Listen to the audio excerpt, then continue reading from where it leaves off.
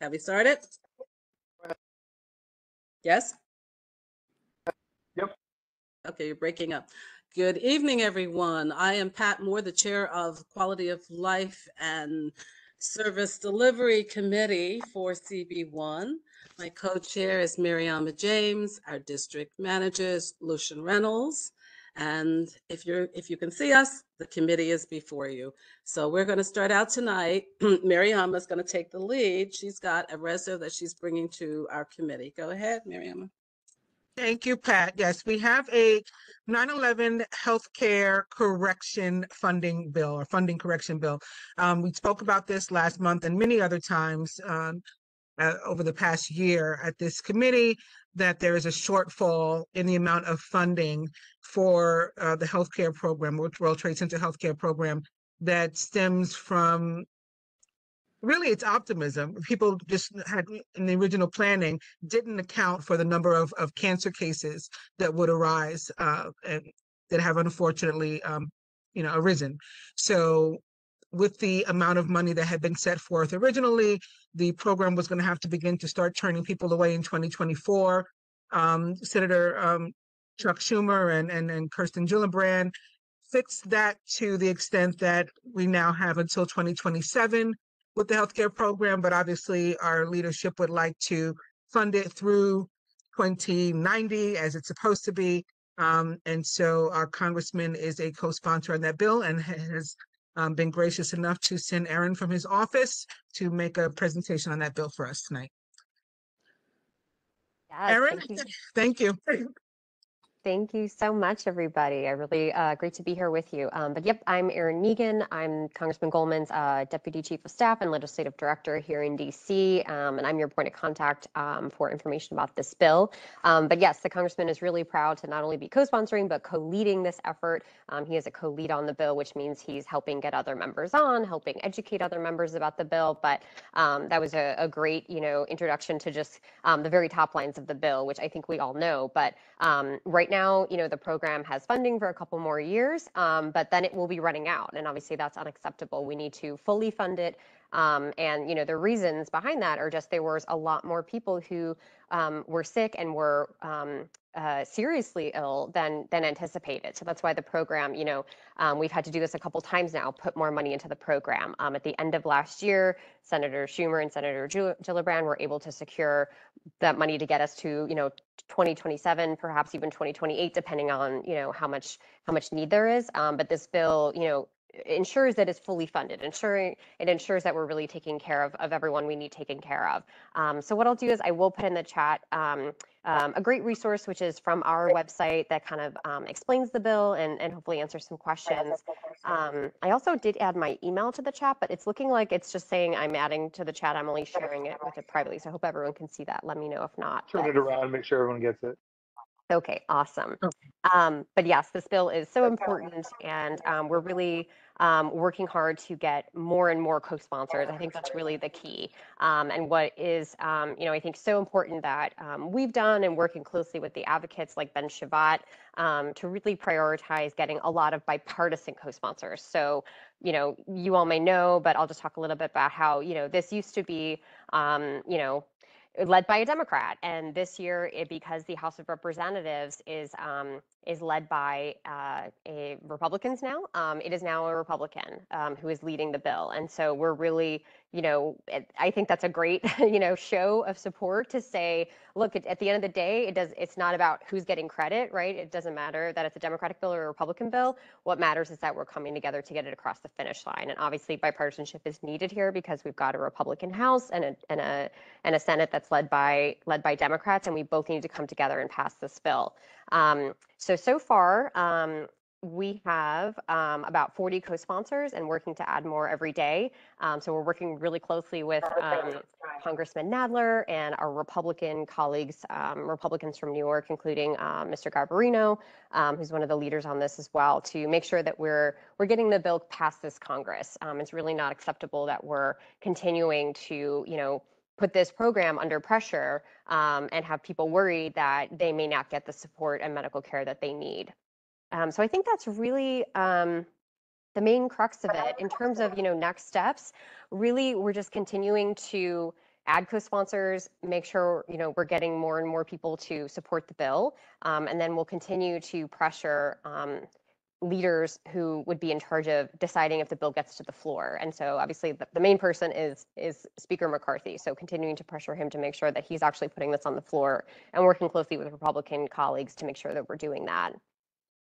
Um, and obviously Senator Schumer and Gillibrand, it's Senator Gillibrand's bill um, over in the Senate. She's pushing hard and we'll continue to, you know, work closely with her office on this as well. But I'm happy to take any questions or anything else I can add. I have a question and then I see Justine has one. Are there any states in particular where we should be contacting friends and family, asking them to reach out to their representative? You know, I think really the target is just any Republican member. You know, at the end of the day, unfortunately, it's just the House of Representatives is the Republicans are in charge and so they decide. And so I think if you have any friends or family who live in a Republican district who can get help get their member of Congress on, that's really what's going to make a difference here. Um, you know, if we can get 50 Republicans on or 100 Republicans on, um, that I think is what it's going to take to get it to the floor to for McCarthy to see that there's a lot of support for this. Um, and then I think the second step would be, you know, once those Republicans are a co-sponsor, kind of the second step to pressure them is to say, okay, thank you for co-sponsoring, but you know, now we want you to, you know, not only co-sponsor but also reach out to McCarthy and let him know this is a priority. You, you're not just co-sponsoring this bill, you really care about it, you really want to see it on the floor. Please ask him to put it on the floor. Justine? Thanks so much. Um, I want to say thank you, first of all, Erin, and thank you for to to uh, Goldman for doing this because this is so important. It is so huge that this is it is so necessary. Um, and yeah, echoing what what Mar- Mariama asked and what you just said is like we need to speak to our, our relatives and friends who are Republicans to get them to sign on to this because this is a bipartisan issue. People are dying and getting sick and need the help, whether they're Republican, Democrat, Independent, doesn't matter. It's a Mhm. huge issue. Thank you so much. Of course, of course. Yep. We're going to keep pushing it until we get it done. Absolutely. And, um, you know, uh, we'll keep pushing to get, you know, even a partial win. I mean, obviously, we're going to push till we get this fully funded and it's fully done. But, you know, it was really great to see that Senator uh, Schumer and Senator Gillibrand working together did get a partial win at the end of last year in the big um, budget bill, the omnibus budget bill that funded the government that we got done in December, you know, they got a billion dollars to get us at least to 2027. And so that is obviously very helpful. Um, but we need to get it all the way now. Mimi? Um, thanks for being here. I have been trying to collect um, information about this, uh, just sort of on the sly, because I have a lot of family in red states, uh, family and friends in red states.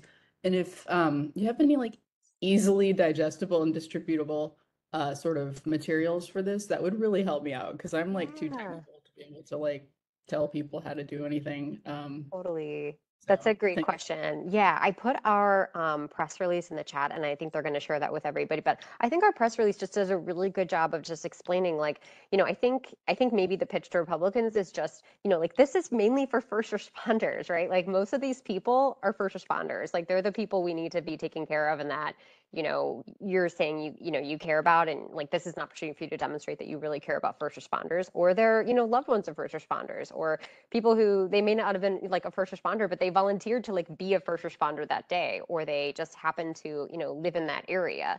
Um, so I think that's kind of like the main piece. And then, you know, I think the press release does a nice job of almost like being your talking points for talking to family and friends in, in those um, those red districts, where it kind of goes through and talks about, you know, how much support there is for this, right? So, you know, like the International Association of Firefighters, this is a major priority for them um, you know, really these first responders groups um, are really active on this. Um, you know, police officers around the country support this, firefighters around the country support this.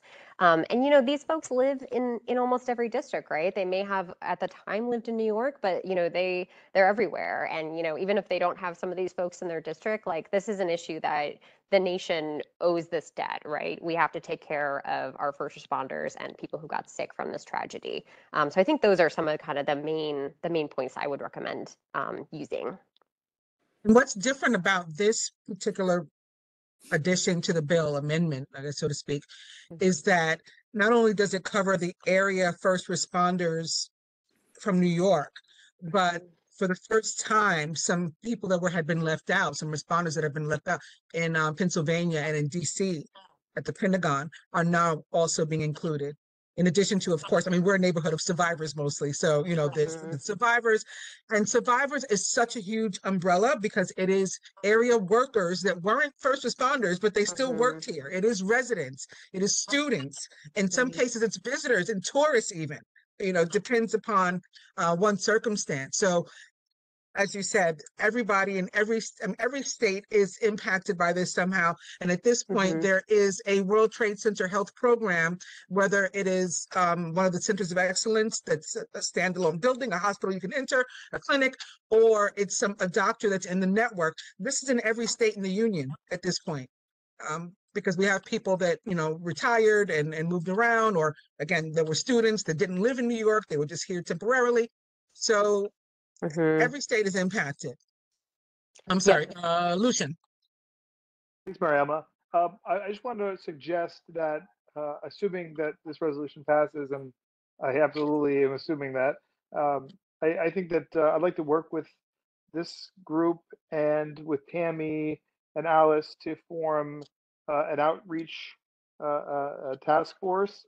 Um, I think that if uh, CB1 members reach out to uh, members uh, of community boards in districts that have um, Republican uh, congresspeople such as Staten Island, Deep Queens, uh, et um, we could we could try to get this in front of their community boards and have their That's community boards advocate idea. directly to them.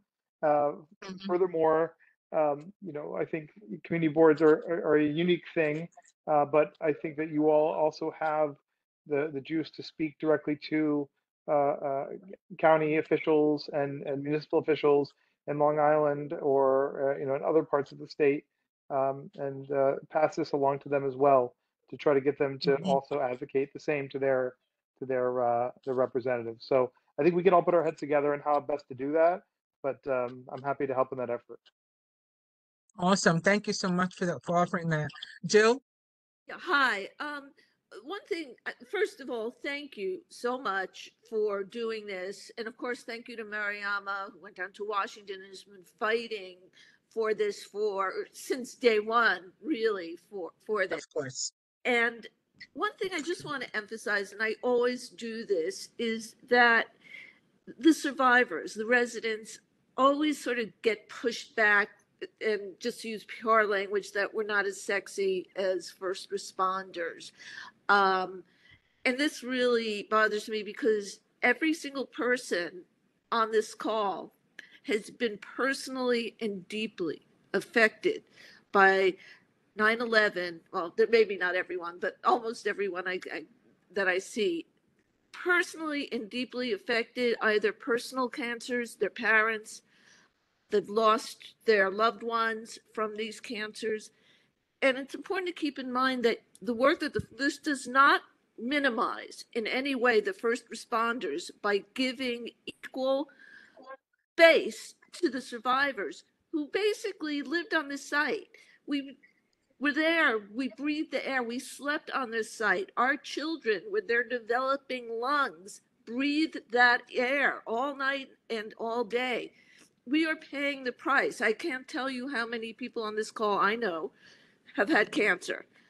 Um, it does not minimize the great sacrifice that the first responders paid by giving the true effect that this has had on survivors who were told it was safe to come back to this community and are now deeply paying the price. And I beg of you to please remember that and not minimize us. Thank you. Excellent, Jill. Uh, Mitch? Yes.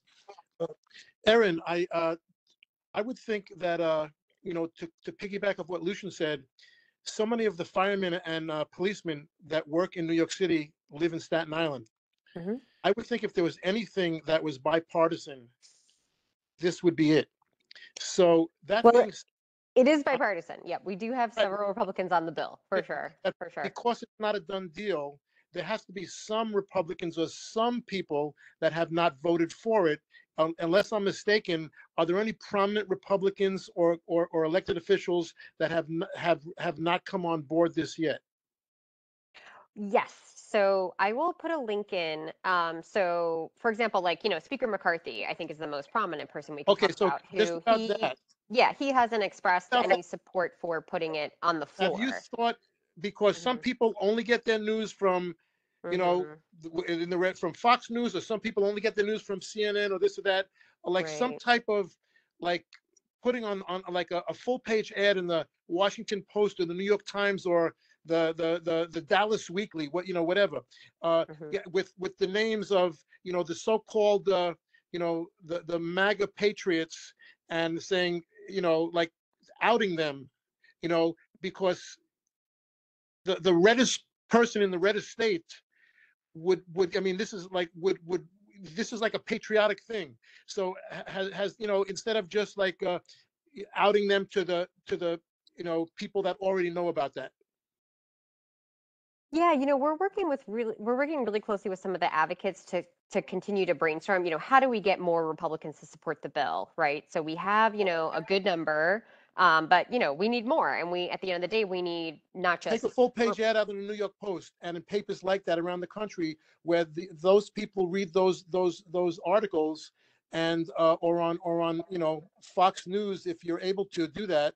And and uh, you know because you know for, for them to come out in public to be shamed and say, you know, we don't want our patriotic policemen and firemen and, and first responders, uh, you know, to to get uh, uh, this help. You know, uh, sometimes that you know makes them vote differently because they just care about staying in power.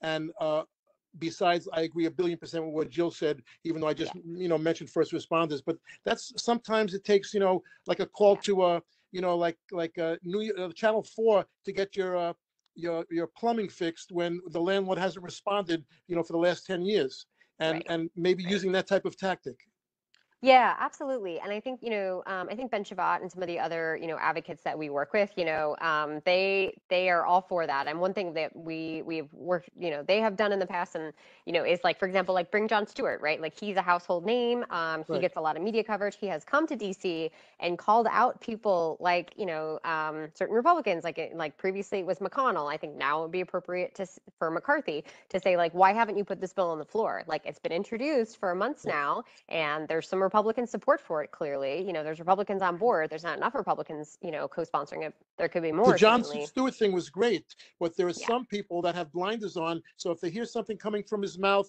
th- they, they don't want to listen i'm saying getting some get, getting to them in their backyard Yep, I hear you. it. Yep, I think we're exploring all avenues that we can. Mhm, thank you so much for everything Of course. Diane? Thanks. Piggyback on, on what Mitch said, is there, can you think of anybody um, who might be an icon for um, people in the states, you know, maybe uh, that might yes be able to reach them? Um, like you said, Jon Stewart has a like more of a liberal following. s- Uh, and I think he's great. I'm very, really grateful, but you know, I'm just wondering if there's anybody else that you, that could be, you, you can use or to reach out to the, to the a country western music star would be perfect. Yeah, Yeah, I'm all ears if anyone has any suggestions, and I'll definitely, you know, take that back to, you know, uh, Mr. Nadler, and Mr. Garbarino, and the other members we're working with. Um, but absolutely, you know, any way we can we can get this done, you know, we we want to look to that. And um, you know, uh, at the end of the day, you know, I think just just getting that pressure on them um, in through different ways, right? Through having, you know, their own constituents contact them, and you know, reporters ask them about it, and um, uh, you know, national media. maybe the ask them Stephen it. Siller Foundation, Tunnel to Towers people, and That's actually a good idea. They might have somebody. Uh, they had uh at the last that last event that they had, they had Rudy Rudy Giuliani as a keynote speaker. Remember that one? Mm. I didn't Oh, yeah. Like two years ago, a year or two ago. Uh, last year. Anyway, just to make sure I'm not skipping anybody from the public, right? No, no more questions. Okay. So in that case, did everybody receive the resolution? yes Did you have an opportunity to look at it and any questions about the resolution specifically? Any problems with the resolution? If not, maybe somebody wants to just call the question. I'll Call the question. I'll second Yes. it. In second, okay. Solutions brought it up, just to make sure. Everyone's okay with all the wording and everything. Oh, she's always. Yep. Now we know what we're doing.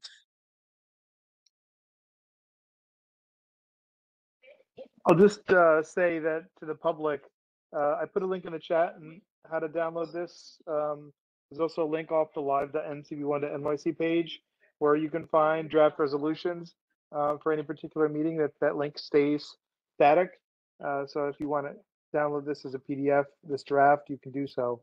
Uh, but otherwise, Mariama, I, I heard the second, and so uh, Pat, if you want to do the votes, I'm ready to record. All right, so we're gonna do what we normally do. If I, anyone opposed? Anyone abstaining? Anyone, what am I missing? Missing one more. Confusing.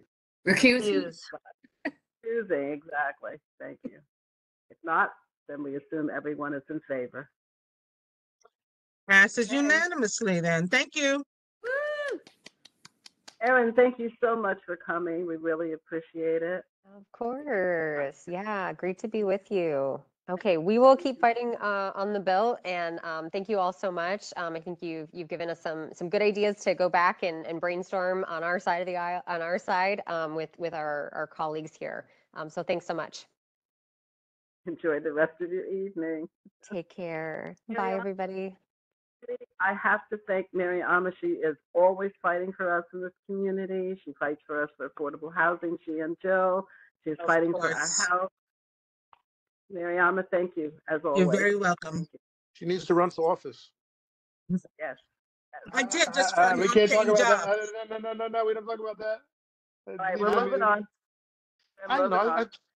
I said something Okay, positive. Next, yeah, next on our agenda, well, let me see. Uh, uh, so we're going to ask the future Southern District of New York office renovation work to do their presentation.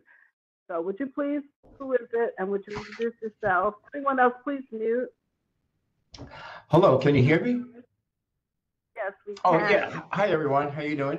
Thanks for uh, uh, letting us come to your meeting to give you a- an overview of our, uh, we have a project and it's the reconstruction, like a major renovation of the U.S. Attorney's Office in the Southern District. That's the uh, building right down on St. Andrews Plaza by Police Headquarters and the municipal building, uh, right by St. Andrews Catholic Church. And, and what, and who I am, I'm Tom Burke, and I'm with the General Services Administration, GSA, which is a branch of the federal government that owns and operates a lot of the federal buildings in in the country, sort of equivalent to New York City's DCAS, you know, citywide, uh, you know, administrative services.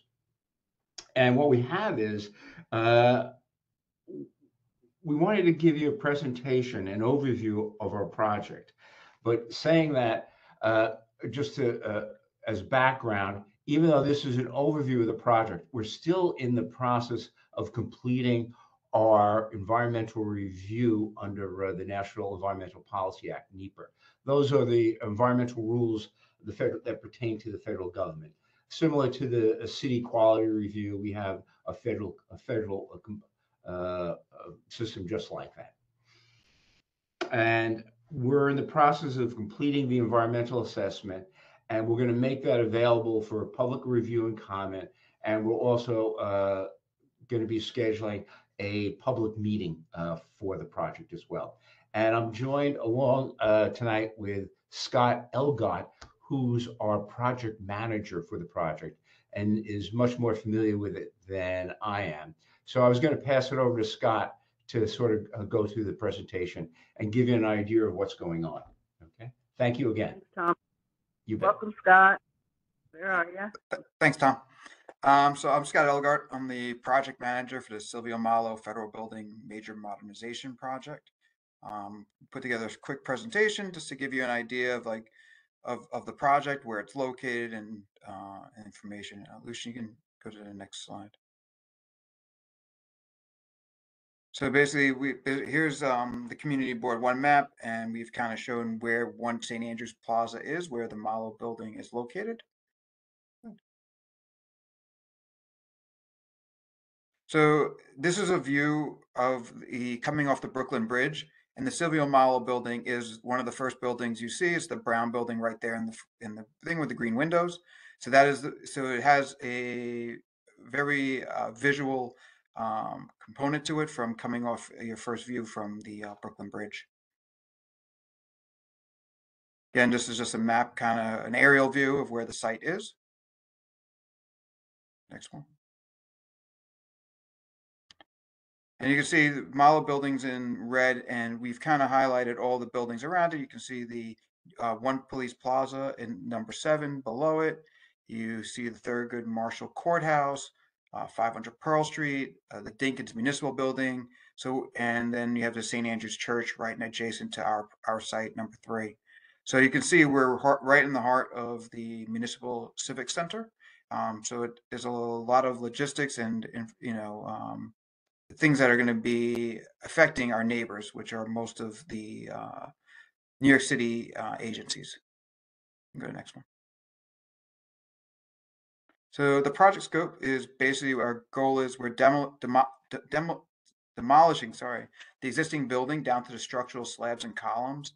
Um, we're going to be doing a complete renovation of the interior and modernizing it. Um, we're going to be installing a new security pavilion outside of the uh, footprint for to keep you know to comply with our current security and accessibility requirements.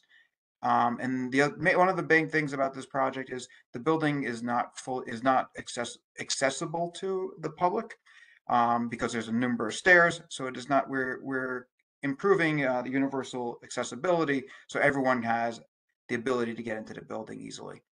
Um, again, this was going to have a uh, it's a new high performance facade, and the building systems are going to achieve LEED requirements. We're aiming for LEED platinum at this time and looking for uh, net zero carbon certification.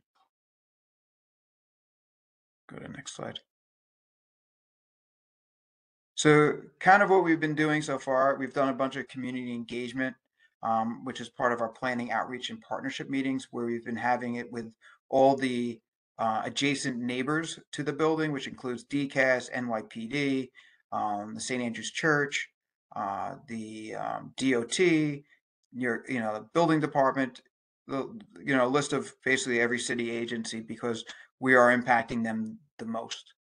Um, we started the, we had meetings with the Department of Transportation and the Public Design Commission to talk about some of the uh, things that are, we're doing as far as landscaping and improvements to the plaza, which are considered New York City property. Um, we are also going to be doing a lot of public outreach as part of the NEPA policy that uh, Tom has mentioned. Go to the next one. So this is a view of the building as it stands now. As you can see, uh, can't really see now, but the- there's a basically a bunch of stairs and uh, a little pavilion um, that they put put up to for screening, and there's a bridge that goes to the building. Go to next one. So this is a the existing site plan. As you can see, we have the stairs, and then we have a bridge that leads us to the building itself. Next one. This is just showing the area of demolition, the area in red. All all that is being removed, which is outside of the building footprint, and then we are going to bring it down to grade level to allow access to anyone visiting the building. Next. This is the proposed site plans. You can see this, the, where the building is, and you can see that there's a new pavilion out front and a bunch of landscaping that we're going to be adding to the site. I'm sorry, Scott. I didn't really get that last part. So is that, what was in red? Red is the area that we're, we're going to be demolishing from the existing footprint. of Right, but what, what is, Those are the stairs and various, the stairs and various other aspects of the building, the bridge, all that's going to be coming down. So if you go oh, when you to, say, go ahead.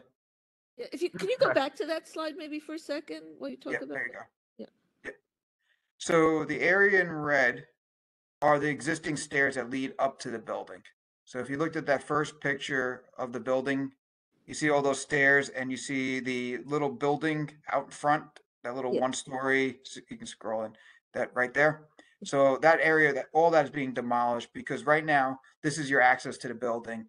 And as you can see, stairs are not ideal for the general public or for anyone to come in that is handicapped or anything else. So the biggest, one of the big drivers besides security and other things is making this building universally accessible. So all that's going to be removed in order to allow us to build a grade level pavilion for security screening. Great, thank you. Yep, no problem. Good, go on to the next one. Again, this was the after. So this is just a view, a rendering of the building, looking at it from, um, by, you know, going by the, where you would be at, maybe at the Brooklyn Bridge, it zoomed in a little bit. You can go to the next one. I'm gonna show, now the next is gonna be a bunch of slides showing the before and after from the various vantage points. So this is, you know, in one St. Andrews, in St. Andrews Plaza, looking at the Mollo building. Go next. And this is that same view of what it will look like when we're done with construction. Next one. This is a view now from looking, basically, if you're at the Dinkins building, looking at Mollo. Yeah, next one. And this is what it will look like after. Scott, can you, can you just uh, quickly comment that you're using the existing uh, structure, the slab and, and everything, you're just recladding it, putting new glazing on and renovating the interiors. Uh, Will this affect the, any, any bulk or height of this existing structure at all? No, the, the, the, the, the, we're, we're keeping the same number of floors, keeping the same number, of everything. The, the penthouse, the may go up a little bit, but we're still evaluating that. The mechanical area. But you will, you won't really notice a difference. The parapets may be a little bit higher, but as far as square footage of the building, it's basically the same. But it won't be a meaningful difference if there is a slightly higher. No, as you can see, the one big thing we're doing is if you looked at the original building, the building steps in right at that, right there. You see how there's a big void Yeah. underneath the building? That, that we're, we're, we're closing that in. So that's really what's the biggest change to the building is enclosing that area that's, you know, an overhang. When you impose that overhang, though, does it become now, and it becomes interior space? It does, it does. It does. It becomes interior space, it becomes double height because the floor, floor to floor on some of these areas, one floor is really, we've, there's not, it's, there's double height ceilings in a lot of areas, so it's really does, not changing anything, it's just enclosing it because we gotta address those columns that are exposed like that. Thank you.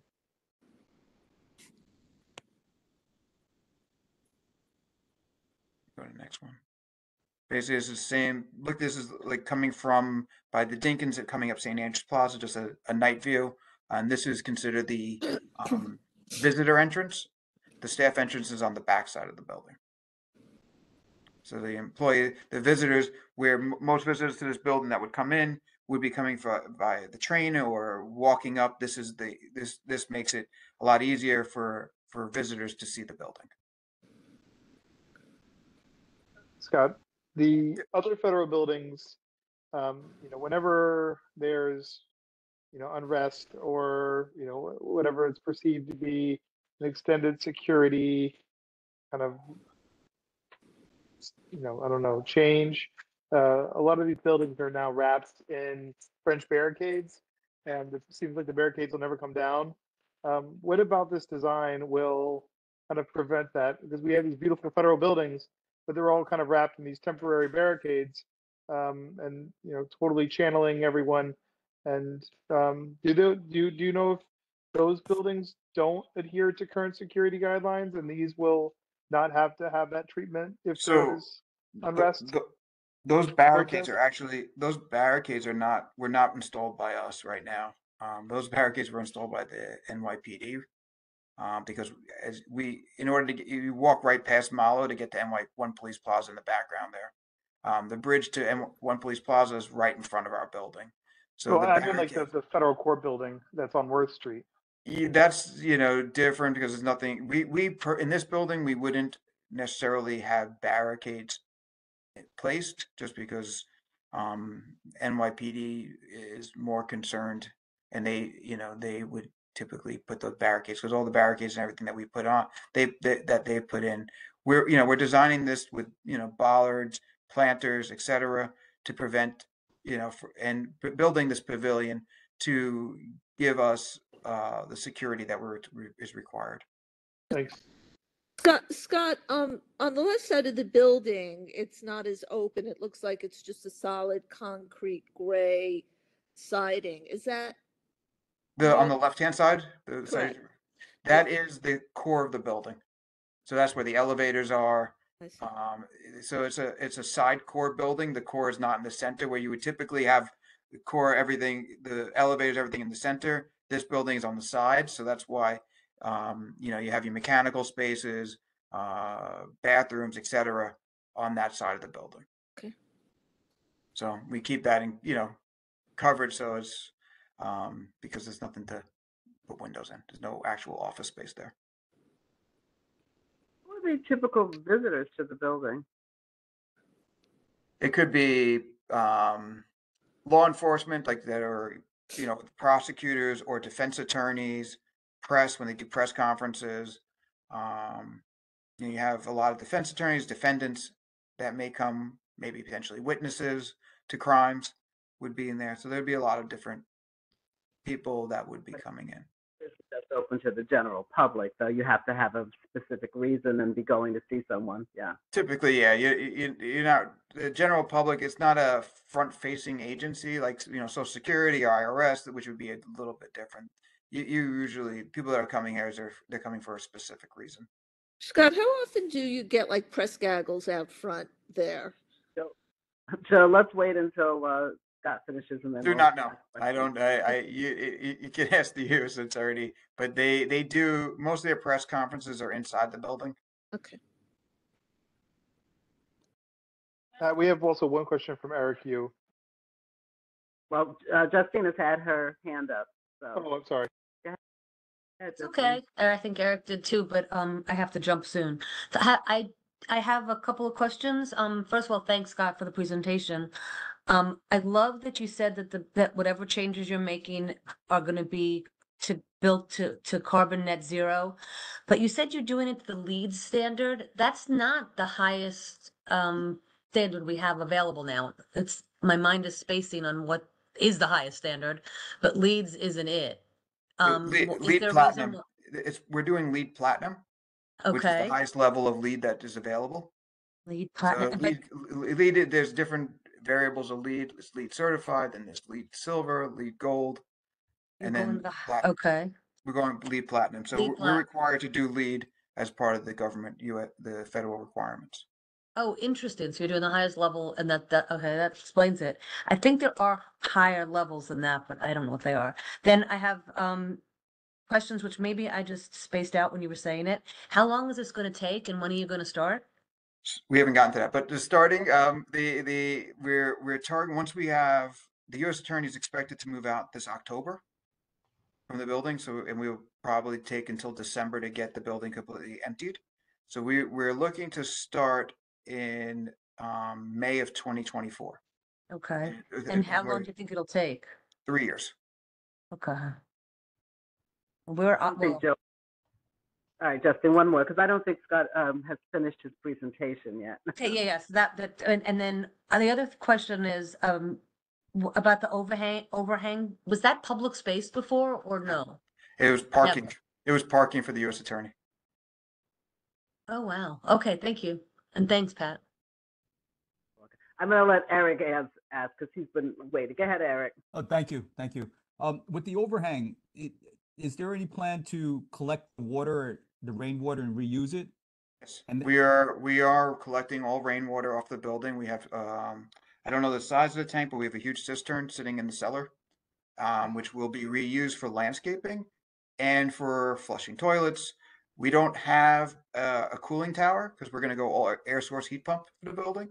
So we are gonna not be, if we had a cooling tower, we would be using all the water, but in this case, we don't really have a need um, to reuse all the water, so we'll be slowly put back in. But the main thing is, it will be any water that can be reused will be reused in the site. Okay, because I'm, I'm just, I'm looking at the overhang and I, and I see that that's quite a large surface area and especially over the, as it reaches over the edge, that, that, that could be quite a large volume of water during, Yeah, during rain. so we, we, we are, we are retaining, um, all the water that is, I think it's like ninety percent of the rainwater that comes down in a, a rain event. Oh, excellent. Um, and Yeah, then So we have a bigger tank than is required by DEP. Uh, then the second question is, uh, will there be provision um, for bicycle parking or uh, docking for people that choose to use it? There are, um, this wasn't shown, there's, to the left of that sign, the Silvio Mollo sign, we had planned for some bike racks. Okay. Thank you very much. Yeah, it's required, bike racks are required per LEED as well. So we, we need that in order to get, uh, certification. Thank you. Scott, what's one, one thing about the bike racks? Can you please, uh, use bike racks that are in the, the upside down U Yep. design? Uh, not the, not the wavy line, because the wavy line ones are unusable, whereas the ones that are used, um, actually allow multiple bikes to chain up. So we have to, DOT, part of the PDC discussion we had, they gave us their standard bike rack that has to be used. It's like a circle. That's perfect, perfect, yes. It's like a, that- cir- that some kind of circle of some sort, yeah. Yeah. So we're, we- we are, we, we agreed to use their standard for bike rack. That was their com, that was a, a conversation they had as well. We can go to the next Go one. ahead. And it's just, this is the same view, but this is looking at the, um, employee entrance. So you can see it through the glass. There's a art sculpture in there that's currently at Mall that no one actually sees because of where it's located. We're gonna move it out front so that the, the, um, community, anyone walking by will be lit up at night, can actually see the, the art that is actually in the building. That was, um, done, uh, I forgot, the last name is Ferrer, um, that designed this, uh, the sculpture. Got his first name, but he, he, um, he's very happy that the sculpture will now be prominent and the, anyone that, anyone walking by can see it. Good, next slide. Um, this is our last slide, but, uh, this is kind of our logistics plan. As you can see, um, we're gonna be doing most of our, let's call, uh, our laydown area and logistics and basically site access is gonna be on Park Row. So we'll be having our crane there and a hoist on the Park Row side. We're gonna be closing off parts of St. Andrews Plaza, but, you know, just for safety reasons as we're building everything. We are gonna be maintaining, um, pedestrian access along St. Ang- uh, Cardinal Hayes, excuse me, um, to get to St. Andrews Plaza, because I know the community, their major p- pass through to get through to like Chinatown and various other areas, um, down to Park Row is through Cardinal Hayes. So we are going to be maintaining that access for pedestrians and we will have overhead coverage and, you know, uh, sidewalk bridging, et cetera, to keep the public safe during our construction. I think that is my last slide.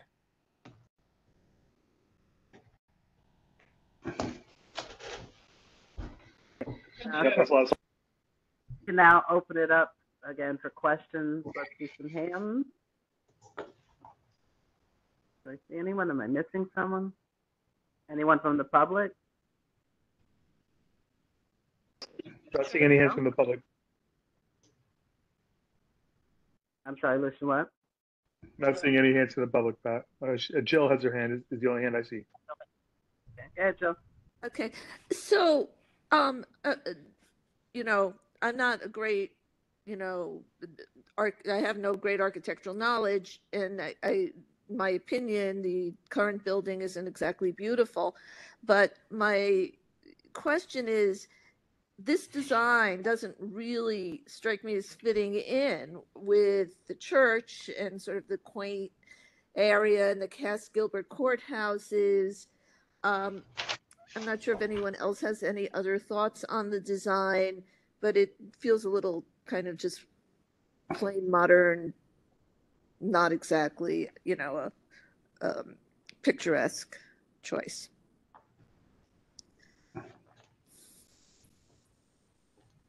Is there a reason why the building is being reclassed? One, it's the facade is very inefficient, the existing brown, and our goal is to lighten the facade up. Um, right now, this, you know, the way we look at it is this, you know, the U.S. Attorney's Office is more along this right now. It's kind of designed to mimic um, One Police Plaza and the prison next door, which is the same. It was built at the same time as Mollo is a sister project. Currently, our building supplies chilled water and steam to the prison. Um, although it's closed, it still does. Um, but we wanted to lighten it up to kind of make it more fit in with the Dinkins building as well as the Thurgood Marshall Courthouse, which is a much lighter lighter facade, which is why the you see the the lighting the lighter type of texture and material that is shown on the on the facade. Um, so like th- these currently are CMU blocks that are like two feet thick that have to come that need that need to come out, and they're very heavy. Um, it's it's not great lighting. It's there's a lot of reasons why the existing facade needs to go away. May I ask a follow-up? Okay. Um, how will this impact the church? And as I said, it doesn't strike me as, as really fitting in with that particular, you know, area and the church and, and, and the courthouses. How will this impact the church? And also, there's a lot of concern I've heard from many people with glass buildings and birds flying into them. So we we are required to have bird safe glass. Um, we we have requirements to to prevent birds from flying in. You know, this is still a very short building compared to all the other buildings in the area. We're you know ten stories, whereas Thurgood Marshall is much higher, and so is you know the Dinkins. All the buildings are much higher than ours. Um, but you know we do have you know the, the idea is bird safe gla- glazing and various other aspects for because of that. And the impact on the church? There shouldn't be any impact on the church except for during construction. Um, you know, we're, we're they're they're maintaining their access. We're not impacting their access to the church. We're not impacting any of the utilities or anything of that nature. Um, so we we've been they've you know they've been in our meetings with when we have our community meetings, and you know they haven't voiced any concerns at this time. Great. But Thank we, you we will continue to have meetings with our direct neighbors that will be impacted for the three years of construction. Thank you, Scott. You're welcome. And the other, did you, did you tell us when um, you're starting? Yeah, it was supposed to start in May of twenty-four. Uh, you have one hand in uh, pub- from the public. One hand from the public. Yeah, Jonathan Hollander. Hi, Jonathan. Go ahead, Jonathan.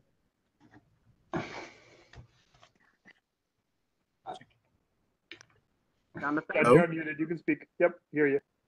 Thank you. I happen to have walked on to Police Plaza about a week ago. Plaza is Breaking up, Jonathan. Can't hear you. terrible condition. There's brim. Hear me? Jonathan, we can't hear you. You're breaking up. Jonathan, I think I can I can relay your question. Um, it's about the, The- the the red Sculpture, the red sculpture. Sculpture is in terrible condition. And the paving of the plaza is also de- degraded. Okay. Jonathan, we didn't hear all of it. Uh, Lucian, can you, did you hear it? Yeah, um, he's, he's he's inquiring about the the red art that's on the plaza, um, closer to One Police Plaza. If this project will have any uh, any responsibility to uh, upgrade or re- uh, restore that, and then also the he's remarked that the the plaza itself um, is in very poor shape, um, and to what degree this this project may improve that condition. So the paving is full of broken areas. Yeah, so the sculpture is not our property. It's New York, owned by New York City. they would be, you know, we wouldn't be touching it. We're staying away from that sculpture. Um, so that's that's a New York City sculpture of some sort. Um, the plaza itself, we will be repairing the plaza in the proximity of the Mollo building, but the rest of the plaza is not being touched by us. So that's as that is New York City property as well. Thank you. Anyone else from the public? And then I see Eric again. Anyone else from the public though? No? Eric? Uh, Yeah, just a minor question. Why does it say MTA building work on, on the, on, on this, um, And that that was an old MTA substation Oh. adjacent to our building. That little, if you look to the right of the Mollo building on Park Row, that which is over, you know, number 15. I think that uh sorry. Yeah, MTA substation. That was an old MTA substation, which was the ownership of that MTA substation is now owned by the Bureau of Prisons. Good. thank you. All right. Any other questions? Um, so, We have so, a hand up with Detta. Oh, Jetta, I'm sorry. Go ahead, Jetta.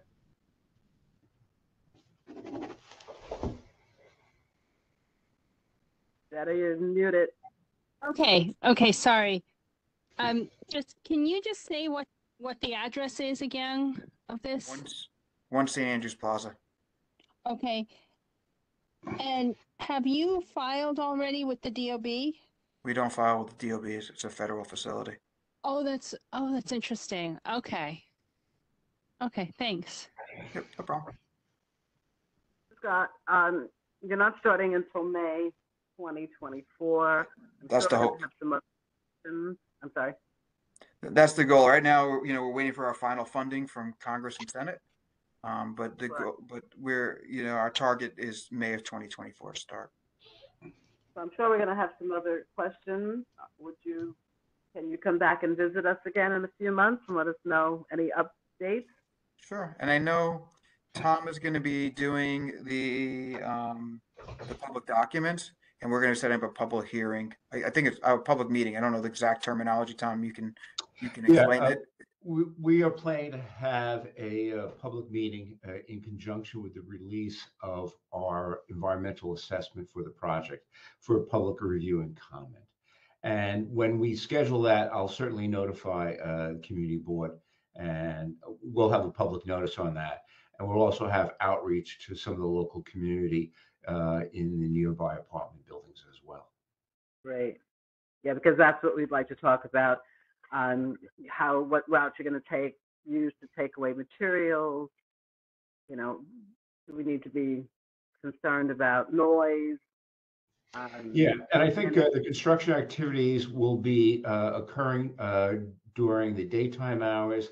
And as part of our requirements is we will be essentially adhering to the New York City uh, noise code for this. We have to. All right, and then we always ask uh, when a when a project starts that there be someone that can be contacted during real time. So in case Mhm. there's someone the public notices a problem or has a noise issue or safety Yeah. issue, they can contact someone. Yeah, So and I, I think that that will definitely happen, you know, certainly for the neighbors there and for anybody else. There'll be signs up there, uh, most likely on who you can contact, call if there's any issues or problems. Or they have They questions. also, you'll need to, you said you're going to keep the walkway open, so I guess you're going to also need to have someone to do some outreach to let the public know. And, Right. and also what kind of signage there'll be to let people know the walkway is open. Right. And that's one of the things we want to make, at, at least let know some of the community members, especially uh, in uh, Chatham Towers, uh, north and uh, to uh, and on the other side of Park Row about what's happening. Fantastic. All right, so we will see you when you are ready to be seen. Um, hey, one, one, one thing, uh, Eric, um, if you, I'm just looking at the, the floor plan, I'm looking at the turnaround area and then the, the green construction fencing. Um, as this is a, a major corridor for people going to and from the, the Brooklyn Bridge City Hall, uh, subway station, as well as people from the area walking to Chinatown for lunch. I would recommend um, making sure that there's um, convex mirrors uh, on the um, northernmost corner of the, the fence because there's just going to be people walking in and out. Um, uh, maybe even along the uh, uh, the substation wall or the I'm sorry the federal prison wall, and that may pop out and and um, it may be good for any vehicle that's going down to be able to see them s- somehow using mirrors um, because it's a blind spot given that pedestrian um, the pedestrian volumes may be um, unsafe. We we can talk about that with our, our contractor, which we- we've already hired a contractor for this work, which is Turner Construction. Um, and we can talk about that for their sa- part of their safety plan. All right, thank you both, Thomas. Thank you. We will see you in a few months. Okay, no, thank you very much. Thank you. Thanks for listening and taking, taking your time to hear about our, uh, our project. This is the kind of stuff we're interested in. We have, we'll probably have more questions. Yeah, no, I, we understand that completely. And the good thing about it is that we're making the building better. It's gonna be more efficient. It's gonna be all electric, no more steam, no more gas. And it'll be a more, uh, efficient building, low embodied carbon. We're using the concrete and steel that's already there. So we think it's a good thing. Great, thank you. Enjoy the rest of your evening. Okay, thank you Thank you very Thank much. you. Have a good night. Night. So now, next, we are going to, is it San, uh, Captain Sanseth from New York, uh, Police Department Transit District Two? That's correct, uh, Sanset, and, uh, I have my uh, neighborhood coordination team here with me as well. Um, so, uh, thanks for having us, appreciate it. for coming and thanks for wading through those two, those two topics. So, what are we talking about? I guess what's going on in our community? What's going on on- in the train stations? Um, all right, well, you know what, uh, just to start off with the numbers and then, you know, we'll take some questions from there. Um, you know, on, on the year, um, you know, in, in the confines of the first precinct, which is, uh, you know, the, the bulk of your, your, uh, district there. Um, we're down thirty-two percent in crime on the, on the year, um, down in every category. Our robberies, our assaults, our grand larcenies, um, all down on the year. So we're down, uh, twenty-seven percent in robbery, fifty percent in assault, and eleven percent in, uh, in the grand larcenies. As far as the twenty-eight day period, which is how we capture it, we, we don't go month to month, we go in a rolling, uh, four-week period. Um, four crimes, four index crimes against twelve last year, so we're down sixty-six percent. Um, you know, over, over that period, so, um, you know, we're really doing well, um, with a crime reduction in, in, in the year and in the past month. Um, you know, in the downtown area. So, um, yeah, any, any specifics, uh, any areas you'd like us to go into, uh, specifically? I guess before actually start asking some questions, would you, do you have any update about the collapse of the building and how it might have affected the, uh, transit? Yeah, um, no, no effect at all. I mean, um, you know, all the lines are running, all four subway lines are running through there. Um, we had a closure yesterday at the, uh, the two and the three, um, entrance at the corner of, um, of William and, um, William and Fulton. But that, that's now been opened and, uh, you know, access and everything is, uh, business as usual. Okay, so that's good. Uh, I'm gonna open it up. I think Lucian has a question.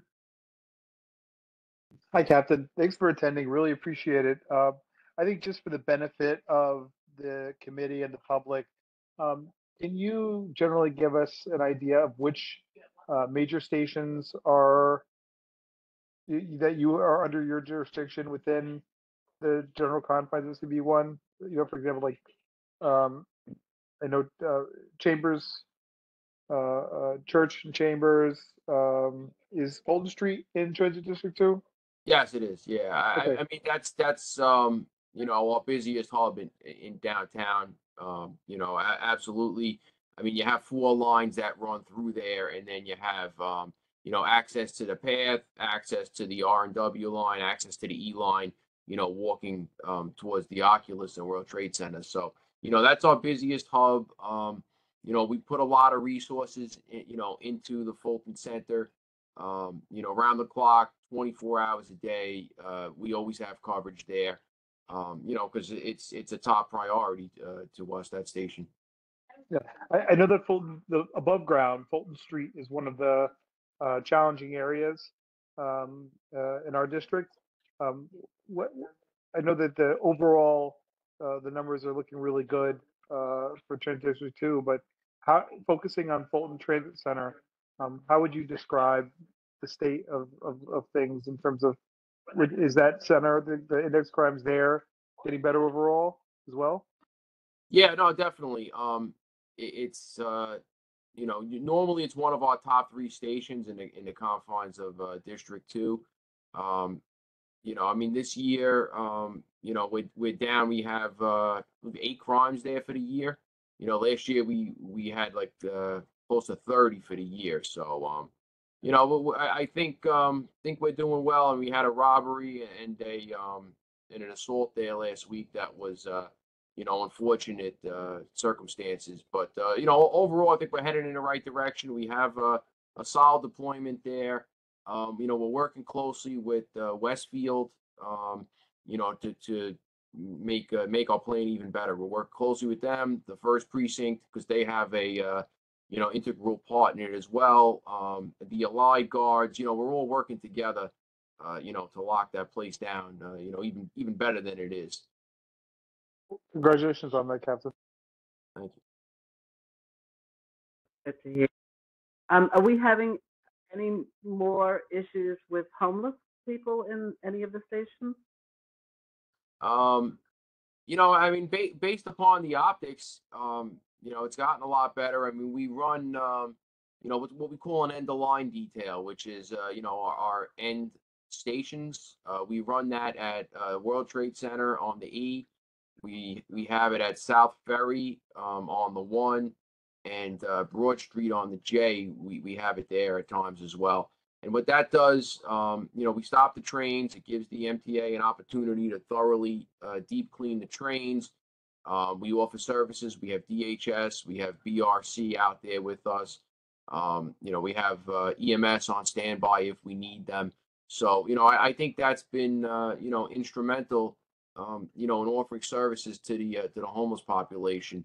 Um, in addition, we work with the uh, the Port Authority Police uh, a few times a month, usually twice a month. We work with them and another organization called uh, Breaking Ground and Urban Pathways. I'm sorry, Urban Pathways to offer them uh, services as well. That uh, if we remove them from the World Trade Center uh, area, so um, I think we, we have a, a bunch of uh, a bunch of good resources in place. Um, you know, and we're offering them, uh, you know, services if if they uh, if they would like to do so. Yeah. We have, um, in addition, we have on top of the, um, joint operations with, um, the Port Authority Police, we're also working with Bowery Resident, uh, Corporation, um, I'm sorry. Bowery Resident Committee, um, you know, several times a month as well to, you know, walk the stations and offer the services, uh, to the individuals. And just if, if the individuals don't want to avail themselves of your, the services being offered, what, what happens? What's the engagement then? Yeah, I mean, we, we can't, we can't compel them to accept services. We then do remove them, um, you know, from the property. Um, you know, that they're not allowed to, uh, you know, sleep overnight in the, uh, you know, the Fulton Center, the World Trade Center or any of our stations. So, you know, we, we then offer them, you know, medical services if, if they're, uh, you know, have any medical conditions, we offer them a ride, obviously, you know, hospital, EMS, those services. Um, you know, or a ride to a shelter if they choose. But if, if not, then, you know, they, they're free, they're free to leave at the present time. We can't, we can't compel them, uh, barring, you know, them being an emo- emotionally disturbed, which is, um, you know, a danger of harm to themselves or somebody else. So we make that determination. If they're an EDP, you know, th- then they go, um, you know, forcefully. But if, if they're not, they're free, they're still free to leave. And I'm curious, so how are the officers assigned to ride the train? how are they assigned to ride the trains? Well, we They're have, uh, we, we have, uh, you know, train patrols, extended tours every night. Um, you know, we assign officers to stay extra hours beyond their tour to provide, uh, you know, train patrols. Um, all three tours, you know, we, we extend them a few hours into the midnight hours. The midnight, um, overnight teams, they work a little later into the morning and our day tours work, you know, later into the afternoon. And, uh, you know, we have them, um, you know, pretty much on every line. Uh, we focus primarily on our heavier lines, which are, you know, the one, two, and three, and the AC and E, but we do have coverage on uh, every line, um, you know, to, to make sure that, you know, no, no lines are left out of that. Um, you know, but it's been uh, a plan that's been uh, in effect for, uh, you know, close to two years now. And, you know, I, I think, I think it's been effective because, um, you know, our numbers are down. So the officers that ride on the trains, do they go from car to car or do they just, are they just located in one car? How many? no, that, that's, um, that's, that's how we do it. You know, they, uh, they're assigned to ride, uh, the train, let's say from South Ferry to Canal Street for argument's sake. You know, the train pulls into one station and, uh, so let's say they pull into Rector Street, they're supposed to change cars, ride that to, let's say Cortlandt, change cars again. So, you know, you, you're checking every car along the, uh, you know, along the route. And, and when you're switching cars, obviously, if there's any conditions on the platform, we address those as well. Um, so, you know, you're getting, you know, platform coverage and train patrol coverage, uh, you know, at the same time with these train patrols. Right. I'm going to open it up to questions now. I see Eric's hand is up. Eric? Uh, yes, thank you. Um, I I see fare evasion almost every day uh, at Bowling Green, and then yeah, mostly at Bowling Green. Um, sometimes at at at Chambers Street. Um, yeah, and it's done without any embarrassment or hesitation almost. And um, I'm I'm just I'm I am concerned that this leads to other crimes. Um, wh- when when your officers do do apprehend somebody uh, avoiding the fare, do they check a person? I, I know that they issue a summons, a desk, a, a you know desk ticket for a fu- future appearance, but do they check if that if that person has any outstanding warrants? Yeah, no, we, we certainly do that. Um, that's all done via our, uh, department smartphones that have access to, you know, all the, uh, you know, the databases to run the names. So that's definitely a required step and, um, you know, it, it's being done. And if they do have a warrant, then obviously they're not issued, uh, you know, that summons. So, um, you know, that, that, that's, that's definitely being done. Um, and, and, you know, we have, uh, checks and balances in place by my, uh, you know, integrity control officer to make sure that those checks are being done as, as required. And then if if they are um apprehend I don't know, caught uh evading the fare, going through the turnstile, the emergency exit, are are they told to leave the system or they just let them go in? I mean, I'm I'm thinking of it as a, as a way of of making it inconvenient. Like it's not just you're going to get a, a a a desk appearance ticket. You have to leave the system, and then of course you can come back in. But to create I won't say uncomfortable, but just to say that there is there is more of an inconvenience if you do get caught evading the fare. Well, right. I, I mean, if you, if you receive a summons, um, and you still want to ride the train, then you have to, you know, pay you two seventy-five and, and then you can ride the train. Um, now, what we have is, you know, a summons, um, I'm sorry, an, an ejection report.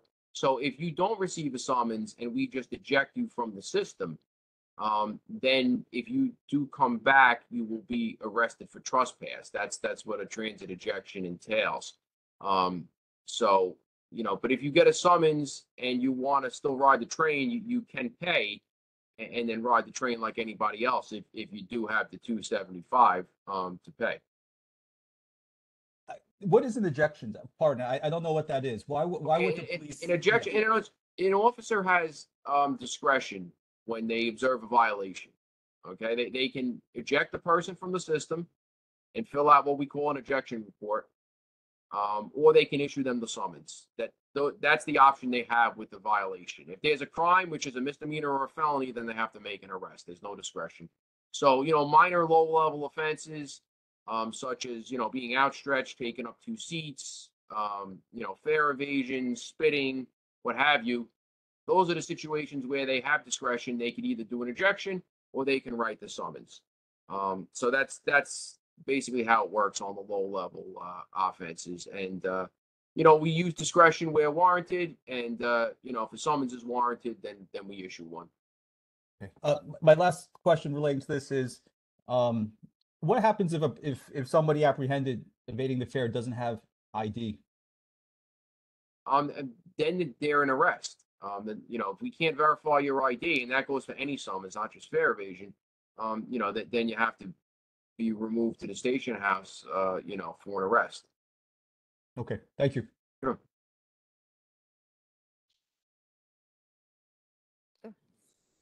Pat, you're muted. Mitch and then Desi. Okay, uh, just uh, three three comments. Uh, first, uh, officer, you had mentioned about the uh, last stop patrol at, and you had mentioned the J train besides the other ones. And if you could also include, unless you just forgot to mention, the number six train at that, uh, you know, the same, uh, you know, Brooklyn Bridge stop uh, is, you know, the other side of the J train. Uh, that's also a last stop. Yeah, you know what? Uh, I, I I just didn't think of that one just because it's uh technically it's not in the confines of the first precinct. Um, I, I was just thinking in in, in It's in the same, the, the, the J and the technically it's in, technically it's in the confines of the fifth, so I, I it kind of just Really? Because it's, it's in the same station though. yeah no I, I know that's just a, a technicality there, but No problem. That, that cool. Number two, um, you know, I'm sure everybody tries, but for somebody that's on the trains all the time, cops are not usually going from car to car. Uh, it's just not happening. They, you know, I, I mean, I, I see them in the, you know, if they're in the, if they're there in the car, they, they'll, most of the time they'll be in the same car for most of the ride. So, you know, but, uh, I don't want anybody to lose their job over it, but, you know, it's, it's not really happening like it's supposed to be on paper. And then the third thing, that's n- also not the end of the world, but I'm seeing an increase, a real big increase in people. I'm not talking about service dogs, but people just bringing their pets like they go into the park. And I'm also not talking about like, you know, a little like hush puppies in, in somebody's purse, but people just walking on with their medium or big sized dogs. And, uh, you know, uh, it, it, it'll be changed, fixed when somebody gets bitten or, or the, an incident happens. So, uh, but I see zero enforcement about that. I mean, you, you know, we've really stepped up our enforcement. Um, you know, in recent months, there's obviously there's room for improvement. Um, you know, and, and that'll Okay. be you know that'll be noted. Um, you know, I mean, we've we've significantly increased the uh, enforcement in the system overall in, in District Two. Um, you know, in the last I'd say two to three months, it's it's really gone up. Yeah, of course, there's room for improvement. Um, you know, same thing with uh, you know, my, my supervisors. My supervisors are out there to, you know, correct, you know, the uh, deficiencies by the cops. Is everyone hundred percent uh, perfect? of course, not, uh, But you know, we're, we're uh, you know, we're moving in the No, right and you're direction. trying. And But uh, if you could, you know, that'll you that'll at be noted, of course. Yeah. right, just, but as far as like, you know, I don't want anybody going to jail because they're, you know, like they're walking in with their like, uh, you know, fifty pound dog, like, uh, you know, and, and, uh, some people might not want to sit next to them. But, uh, it, it's, it's, it's, it's happening so much more that you don't see anybody really being afraid to, to, to take their, their, their, their pet on a leash, uh, uh, in the subway. Yeah, well, you know what we've done, um, you know, in the past few months, uh, you know, since we got a new uh, new chief of transit, a new regime here, we've really focused ourselves on uh, turnstile posts, and I, I think what that does is, you know, stop some of the infractions Okay. at the turnstile to, to try to, you know, keep some of these things out of the system. Um, you know, it's been a new deployment strategy um, in the past few months, and uh, you know, I, I think going forward, it'll it'll be very effective. You know, obviously, we're not at every station at the turnstile. Of course. we're picking, you know, the, the most bang for our buck, but uh, you know, we'll definitely keep uh, keep an eye out for that. Definitely. Yeah, the, the, the uh, on the, instead of being uh, like, one other suggestion, and then I'll be finished. Instead of sometimes being at the main entrance to a station, like say, you know, on Chambers Street, there's three or four different entrances. To maybe you have them deployed at the entrances where there isn't the token booth attendant. because, you know, that seems to, you know, to have some eyes in some of those other, uh, like more desolate, lo- like areas, uh, might be, you know, more of a comforting to, uh, the riders. Yeah, well, you know what? I mean, th- thanks for the suggestion. Uh, you know, but constantly reevaluating the deployment. Um, you know, but we'll definitely, you know, keep that, um, you know, in, in mind. Thank you. Okay, Pat. Thanks, Mitch. What, so what's the law about your pet? If they can't get in, if they can't be in a carrier, what are you supposed to do with them? They don't to bring the- the pets in. Yeah, I mean, you know, dogs are not allowed on the subway system unless they serve service animals. Um, you know, the, the issue is, um, you know, we're not allowed to ask them. Um, that that's a law. And, and, you know, another another thing, and we have 472 stations um in the system. Some of them have a dozen entrances. So, you know, it, it's a challenge, absolutely. You know, but it's something that we can, you know, definitely work on. Was there somebody walking in with a pit bull and they could, they just say, he's a service dog and your, your hands are tied. So something has to change like above, above you, you know, like, like above, you know? Hold on a second. So, I'm not sure if people really know that they're not allowed to bring their dogs on the subway. Of course they do. There's the information. Every, ninety percent of the people know, Pat. It's, it's, That's not so true. Speaking from I- experience. well, you're on the other ten Uh, percent. you could. Well, maybe that's, you know, maybe that's an issue for the MTA. They, they can, you know, have some better signage up. Um, Yeah, because I really don't think, and especially a lot of the young people who have moved to New York, I don't think that they're aware. I mean, we have issues with bikes where they're not a- aware they shouldn't ride on the sidewalk. Mm-hmm. I don't think a lot of young, younger people know that they're not allowed to bring their dogs on the subway. Anyway, we The can move MTA did that. an advertisement about dogs in bags. Yeah, dogs and bags I thought were allowed. Oh, yeah, I'm not talking about that. bag. We're talking about dogs walking on a leash like you're going to Central Park, you know, medium to big sized dogs. Mm. Yeah. All right, let's move on from the topic of dogs. Um, it was, uh, it was, um, Desi, and then, uh, Jill, and then Mimi. Desi? Hi there, good evening. I actually didn't know that pets were not allowed on the subway, by the way. I thought as as long as they were small enough to fit in a bag or as long as they were a service animal, but that's Well, service animals are allowed. yeah, yeah, yeah. Yeah, but I wasn't aware that no other dog was allowed. Okay. But um, my my comment is really a concern about um, you know, the idea of fare beaters turning into larger criminals. I I'm I'm just very concerned about that characterization. And I think that I'm certainly not encouraging anybody to beat a fare, but I would be um I would have a real issue with someone being tarred and feathered for beating a fare for $2.75 and then not having identification if for some reason they're a student or someone who just doesn't have it. I think that there are bigger fish to fry, and I would much rather see resources and um, active policing going around um, addressing the mental health of people who are in the subway who really need another place to be and some other place to get help and get care and get sleep. And so I just wanted to throw that out there. I do find oftentimes that fare beaters are young people and they're people who just don't have the money to get on the subway. I don't think that there should be an implication that if they're beating the fare that they're also going to be later on pushing someone into the subway tracks.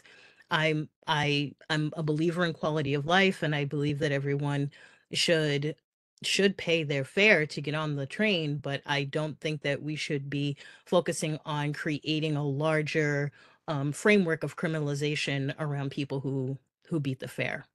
I just wanted to throw that out there.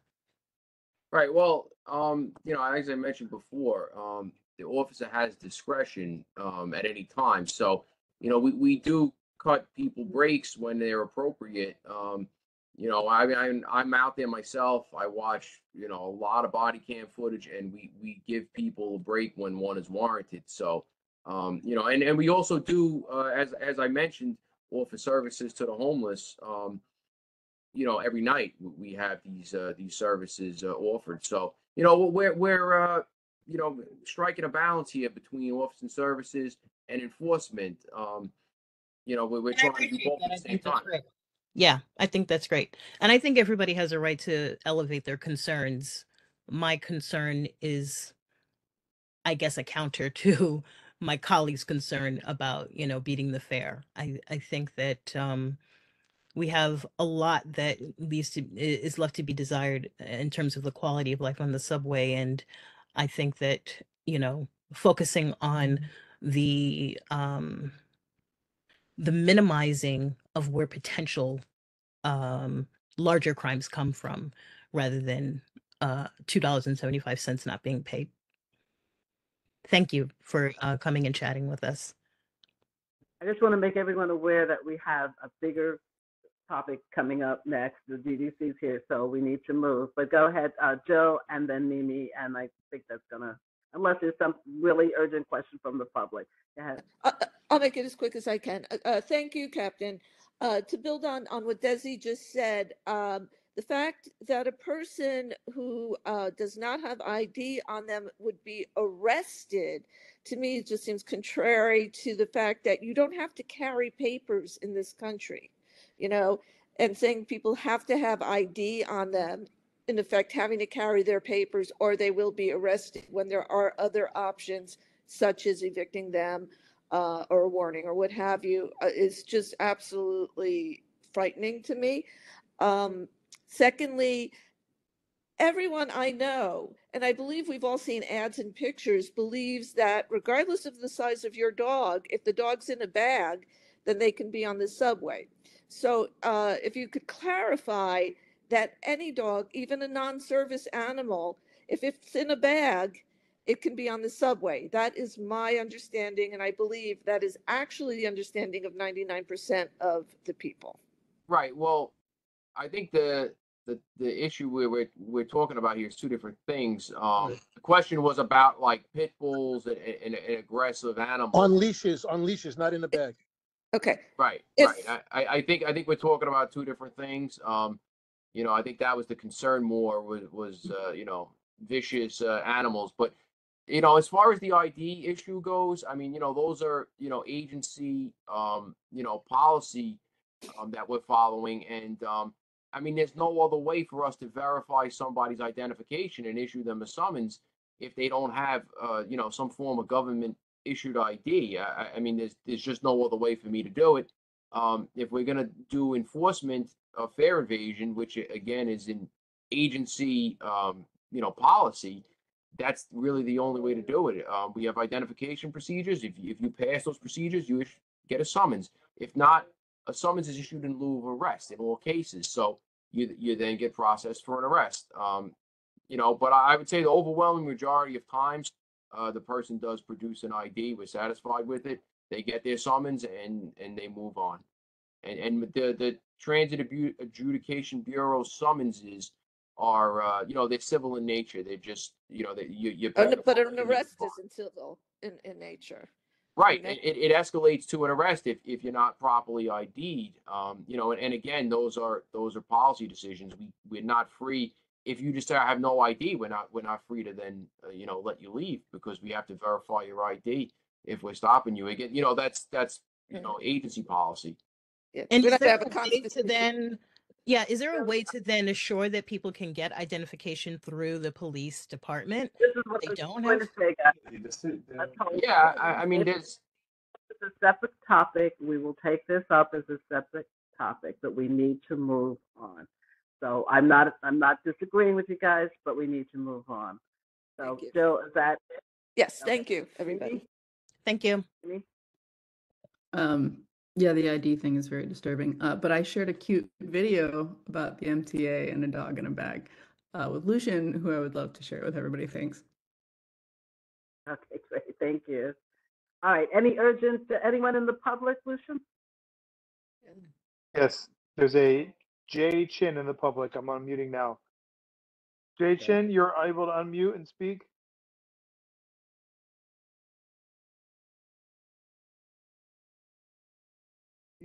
Jay Chin, if you're on the phone, I think star six unmutes you or star three? Try one of those. That'll unmute you. All right.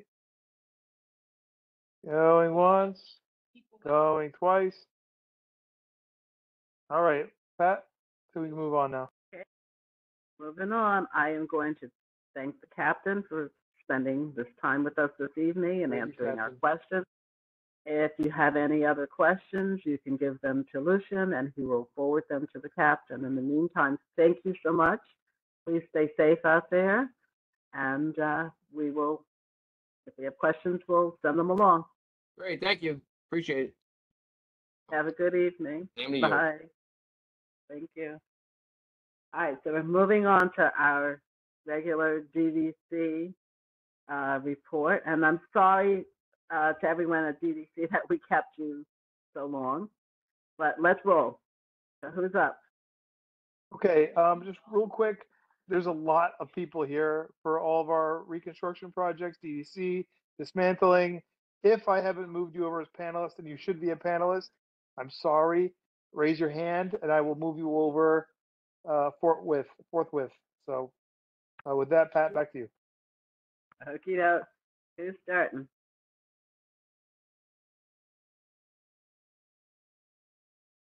Good evening. Pat Fitzgerald is uh, presenting, I believe. He has a presentation up to share. Hi, Marilyn. Hey, Pat, how are you? I'm well. How are you? I'm doing well, thank you. Uh, one one piece of housekeeping, Pat, uh, if I may, um, and I'm still moving people over. Uh, I'm going to be putting a link in the chat. I would like everyone who has not signed our attendance sheet, please to do so. Uh, board members, this is how we know you're here. Uh, attendance is uh, something that we need to focus on this month, and executive, uh, uh, and uh, everyone's responsible for marking themselves present. So thank you. With that, Pat, back to you. I'm sorry. Thank you. All right, so who are we starting with? Good evening, Pat. This is Besher from Manhattan Construction. Uh, we will How go. are you? I'm good. How are you doing? I'm well, thanks. So today we'll go through our active projects and our new upcoming projects in Community Board One. So Okay. for the first meeting, we have reconstruction of combined sewer in West Broadway. I believe we have either Gerald, Madeline, or Amy with us today to present. Uh, Lucian, can you move Maddie to the panelist so she can present?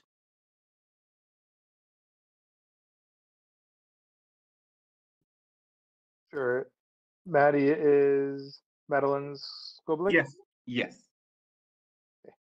Everyone, please raise your hand if you need to be moved over. I'm sorry, there's just so many people. Maddie, my apologies. That's okay.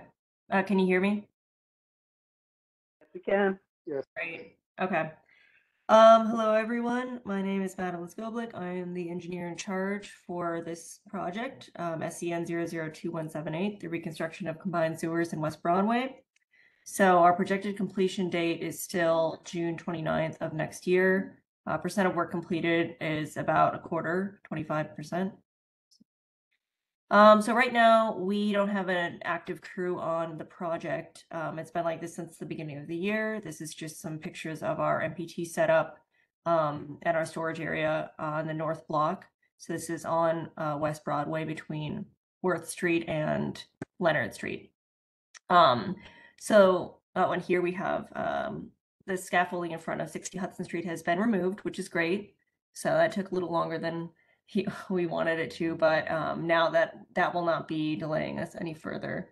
Um, but yeah, so as of now, the reason for the delay is just that we've been working with the MTA to get an approved um, sheeting plan for the larger water main that we're installing, and we did get that.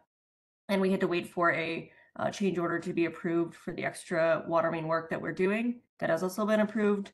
The um, contractor crew is currently on another project and they're just finishing that up and they're going to come back um, hopefully sometime in May. Uh, I think the worst case scenario would be um, end of May is what they said. So here is a show of the remaining work that we have on the project. So this is just showing um, from the original project plans, the uh, sewer that we're going to be installing on both ends of the block.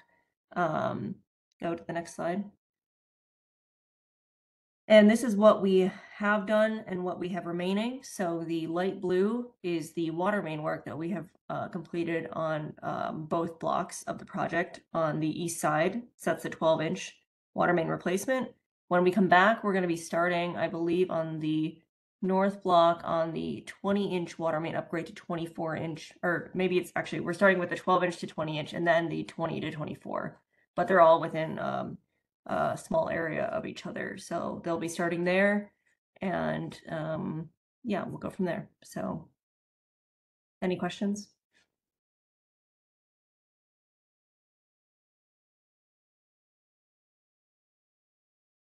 No? Okay. Uh, yes, I, I have a question.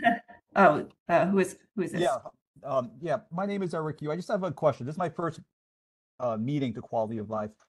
So Mhm. for these type of projects, um, do you inform ECS as con, as well as Con Ed if you're doing this work? Just, I, I, I just like to know what the process is when you're doing this type of street work. Um, yeah, we do inform them. This is actually a joint bid project, so we went in with ECS and Con Ed, and they had, you know, their own plans for work that they needed to do. Um, sometimes things are a little bit closer than we thought they were going to be, and we have to add, um, you know, extra utility movement, um, work around there, but they are very involved with the project, yes. Oh, yes, because I was, it was just a general question so that in case they have to do any work while you already have the street open, they can, Mhm. Besides just preparatory work, any other work they could do at the same time. Okay, Exactly, thank that's you. the idea, yep. Thank you. Always something that. Uh, This is Dushyant. Uh, Let me add addition to the whatever the Madeline say. When the project is, project is in design, we have a number of meetings during the design with the utilities. And uh, we accommodate them and also some of the work and the coordination work is also being done since the design is started. And then we also follow up after the design, during the construction, we have several meetings and uh, then we coordinate uh, with them to modify, upgrade their facilities as required. Thank you. Thank you. All right, who's next? Oh, um, so we finished with that, Madeline? Yep, we're done. Thank you. Thank you so much. Thanks for waiting also. No problem. So Next for project. next project is the reconstruction of Greenwich. And I believe we have Philip with us today. Yeah, thank you, Bashir. Good evening, everyone. I'm Philip Stafford, the CCL on the DDC's Greenwich Street project. Uh, I've been here several times now, so I think we know the idea of the job, but I'll just go over it quickly. This is a total roadway reconstruction project on Greenwich Street from Barclay all the way up to Chambers. And actively where we're working now is what we're considering the first phase of the job from Barclay to Murray Street, probably really about you know 90 95% of the work we're going to do on this project.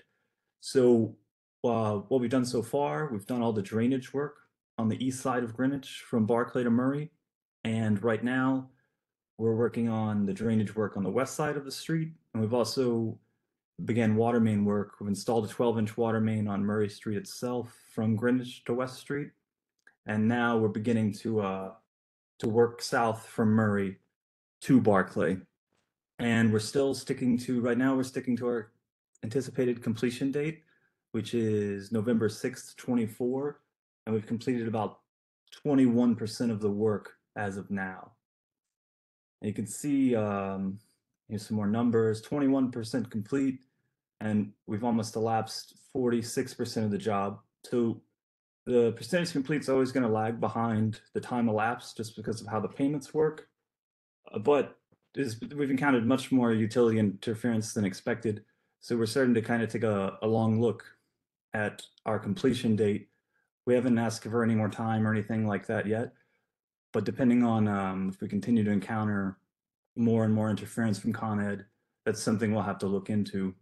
And as of right now, um, kind of working in three spots. If you walk by Greenwich Street and Barclay Street, you'll see what we're calling a mass excavation. basically Con Ed's in the area, ECS is in the area. Everyone's getting their utility ducts out of the way or upgrading them so we can install our new water mains, water main mainly in the area. And at Greenwich Street and Murray Street, we're doing the same thing. We're exposing everything, we're moving everything, and we'll bring a new 20 inch water main um, south down Greenwich Street.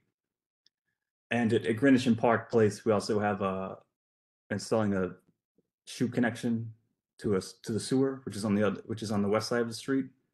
So the idea is, you know, all this stuff's interconnected. So if we have a few areas we can work, when we do run into interference that holds us up a little bit, we can always hop to another spot. And uh, we've we've managed that quite well so far. The contractor's been very good at that. And then the next slide, Bashir, we just have a couple pictures. So on the left side, that's Greenwich and Barclay, kind of looking northwest, I'd say. That's Beams, that's Fiterman Hall in the background. This is kind of a good example. That is a good picture of what a joint bid job looks like. You can see uh, our contractor actively supporting a Con Ed crew there as they install a new gas main. And just uh, it's really an incredible amount of utilities in the ground. And we have to raise everything up so we can go underneath. And on the on the right side as well, that's um, that's Murray and Greenwich, kind of the Whole Foods Bank of America building in the background. And similar thing, you see a we have to move all those utility ducts. We have to do all the excavation by hand. That's that bag in the in the air. The machine's moving, so it's just there's a lot of utilities to get out of the way, but we're uh, actively working on it. If anyone has any questions, I'll answer what I can, and I'll get back to you if I don't have an answer right now.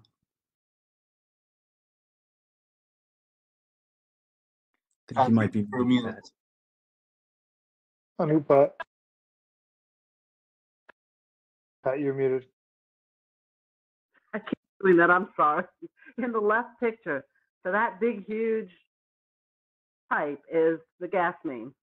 Yeah, the the black pipe there for all the Con Ed. That's all Con Ed in orange. If you ever see the blue hats, usually Con Ed. So Yeah. basically, they they cut out the existing gas main and moved it to a different lane, so we can start to figure out where the water main is going to go. And uh, the other stuff you see is a mix of Con Ed's electrical lines and ECS, which is The water main will run parallel to that big gas main, right? Yeah, the one that kind of kind of rusty looking conduits above is Con Ed, and it's a mix of Con Ed and uh, ECS there. And the same thing on the other side, the other picture, that's uh, what you can see. That's mostly ECS ducts. Wow. Amazing. Okay, great. Any, any questions? Eric, is your hand up again? Uh, yes, uh, in the previous slide, you mentioned trolley materials. What is that? Sure. Uh, The one more pri- prior one to more slide. Yeah, so uh, we ex in, uh, in our drawings, it expects that the there used to be a trolley track here, so we expect trolley track removal, which is you know common on a lot of projects in Lower Manhattan. We haven't encountered anything. I, I don't know if we will. Okay, thank you. I was just Eric, we- surprised they would still be there. Eric, I, I have some photos from uh, Vestry Street of some trolley truck removal. I'll forward to you. So I know as an MTA person, you must be interested. Yes, I am. Thank you. And we, we love it when we hear that stuff, yeah. Uh, any other questions? Any hands up? I can't see everybody's I, hands. I have one one quick thing. Um, Philip, uh, it looks like the the Bollard revocable consent item. Thank you, by the way, for connecting me again with the um, the the representative of 240 Greenwich, uh, Mellon. Um, the Transportation Committee will have an item on its agenda in May uh, about the bollards um, that are adjacent to this work, um, which will have to be coordinated with the, the Greenwich Street reconstruction.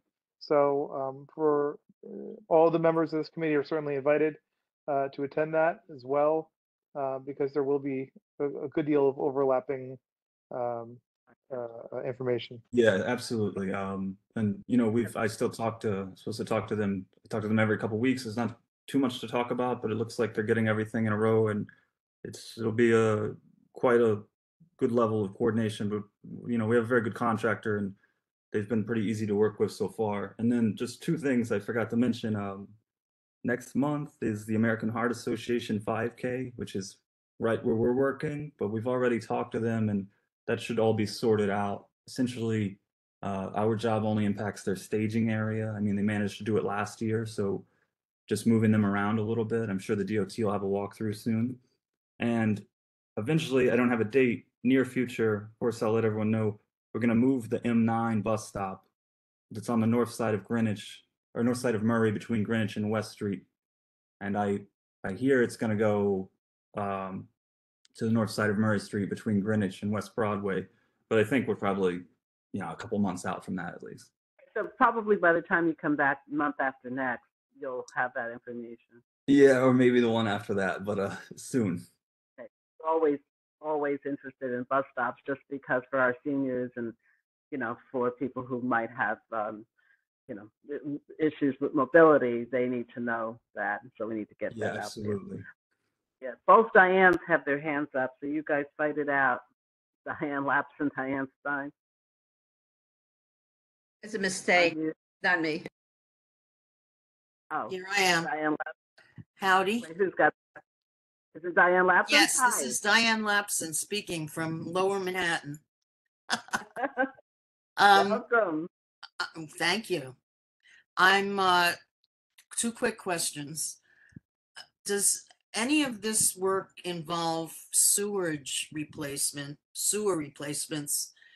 Because we've been seeing a lot of presentations about uh, global warming and uh, resiliency, and I'm wondering if there's any change in policy about the, the sewers and how they handle a larger amount of water that might be coming our way.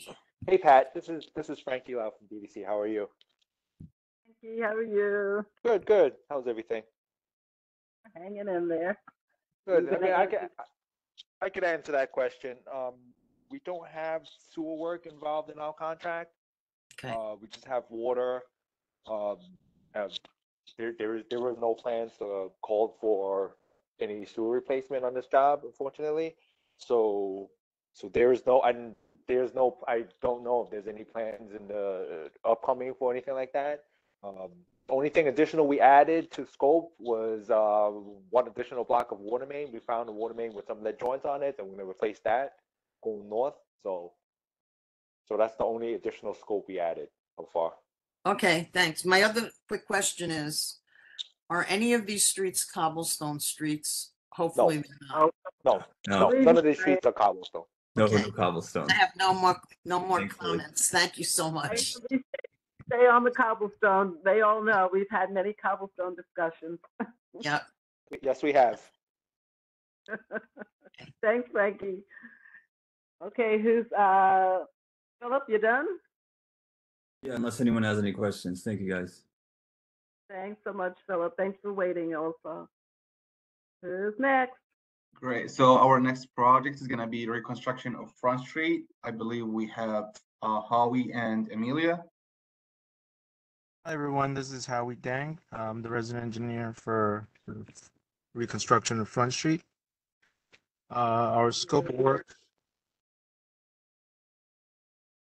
Our scope of work uh, is for six blocks uh, between Old Slip and John Street.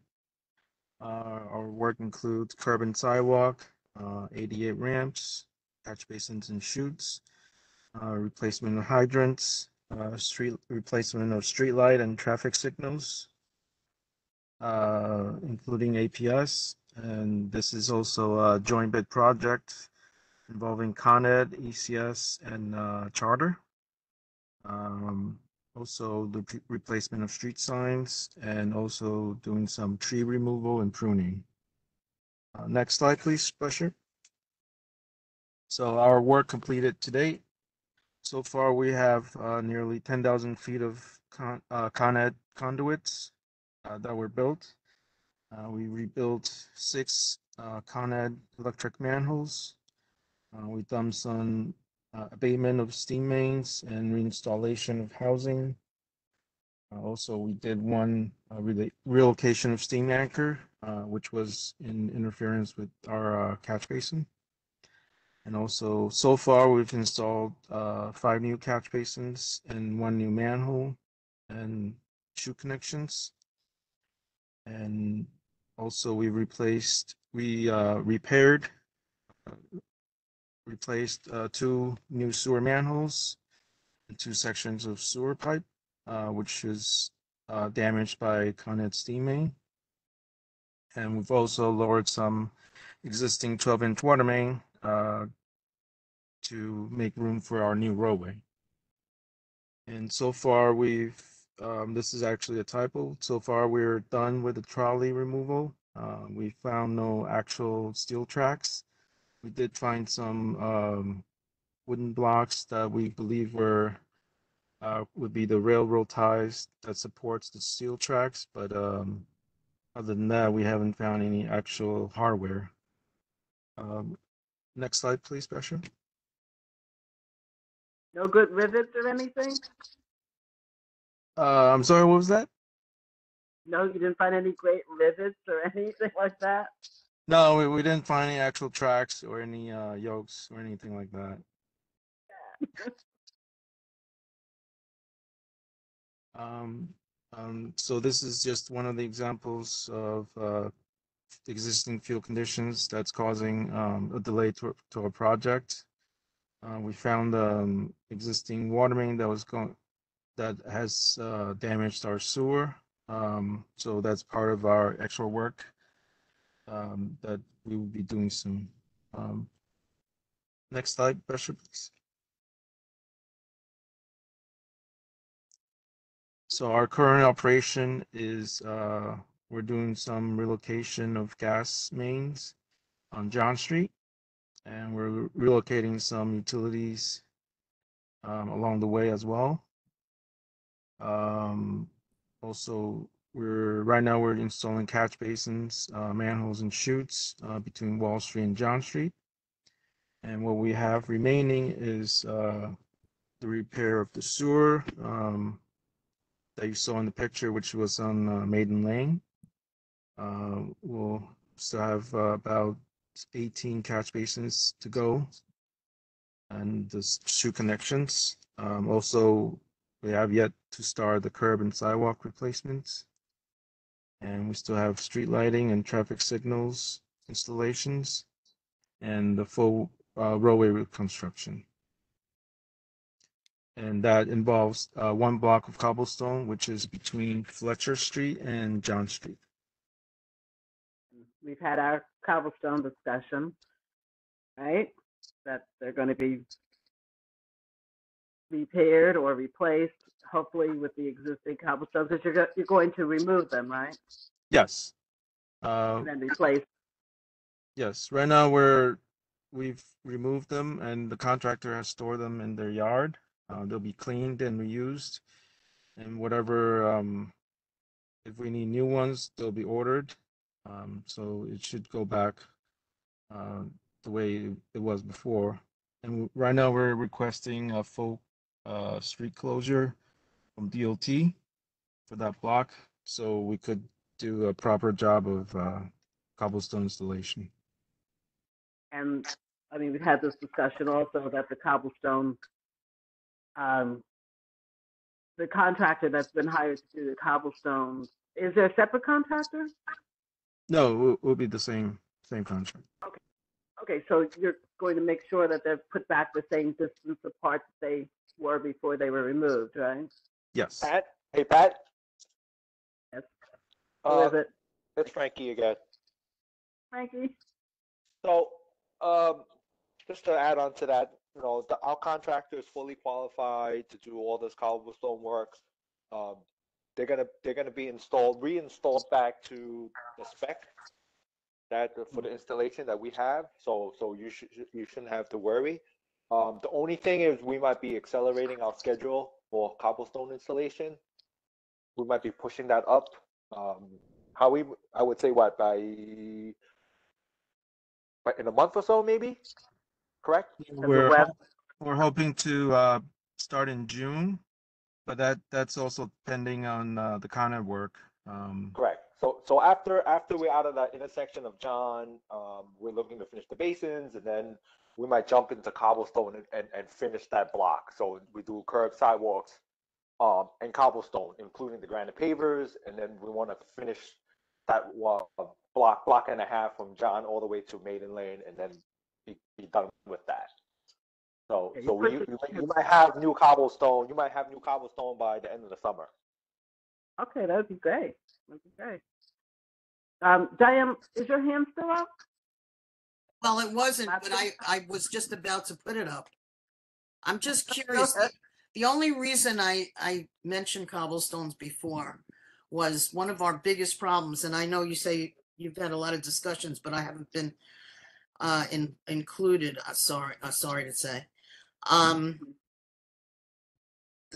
the people who did the last job that the city picked, I'm sure you know that they installed the stones in the wrong distance apart from each other and they're all coming up.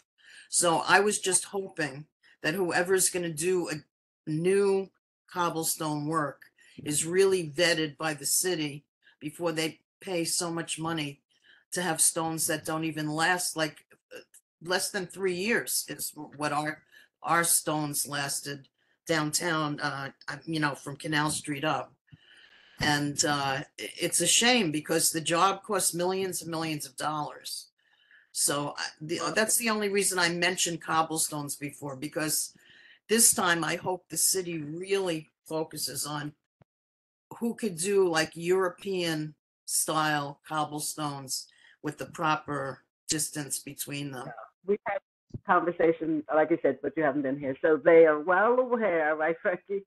That, Okay. uh, yeah, what happened with other cobblestones and, and also they're going to reuse the material that they're removing. They, we just heard that. It's, it is- we're going, we're gonna make sure that, uh, the spec is followed hundred percent, which is, which shouldn't be an issue, you know, with, uh, constructability and, and, and, and longevity of the stones after they've been installed. Uh, and again, we should be having, um, all of this done within the next couple of months. So, so, um, we're gonna have a new, um, nice looking cobblestone roadway soon. yay thank you Okay. So how are you done?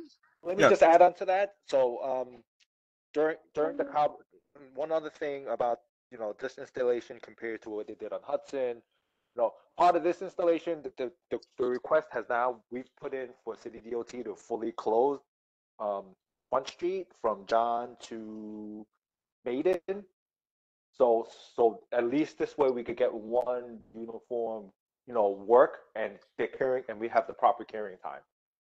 So I think, I think part of the problem last time was they kept the road open, half the road, so this time we're looking to close it completely and let it cure, you know, the twenty-one days before the, the, roads even reopen.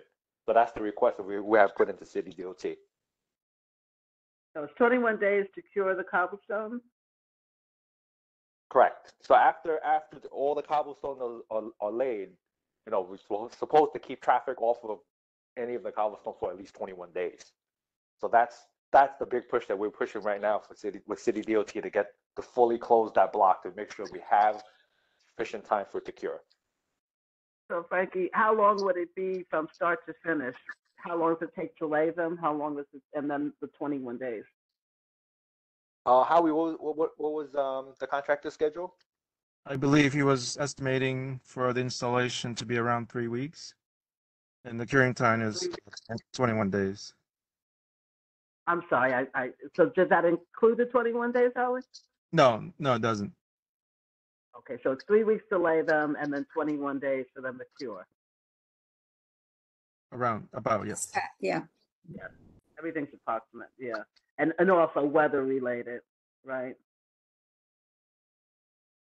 Um, weather shouldn't affect it too much as long as, um, the mortar bed is done properly and they have time to cure. Alrighty. All right. So anything else for this project, Howie and Frankie? Um, Frank, um, Howie, I also, hi Pat, it's Amelia. Hi, Amelia. I, also wanted just to add quickly that um, as part of the work when we do, as we go along, we also, when work is completed, we're also restoring parking.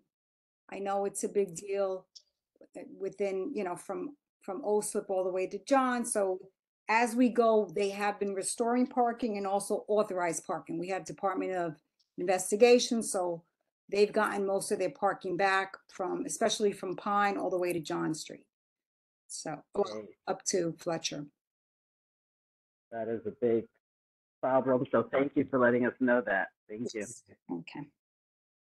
All right, next project. So our next project is the reconstruction of Vesey Street. Um, Better again, the resident engineer on that project. So reconstruction of Vesey Street is between Church Street and Broadway. Uh, projected completion date is September 17, 2024, and percent of work completed is 19% so far.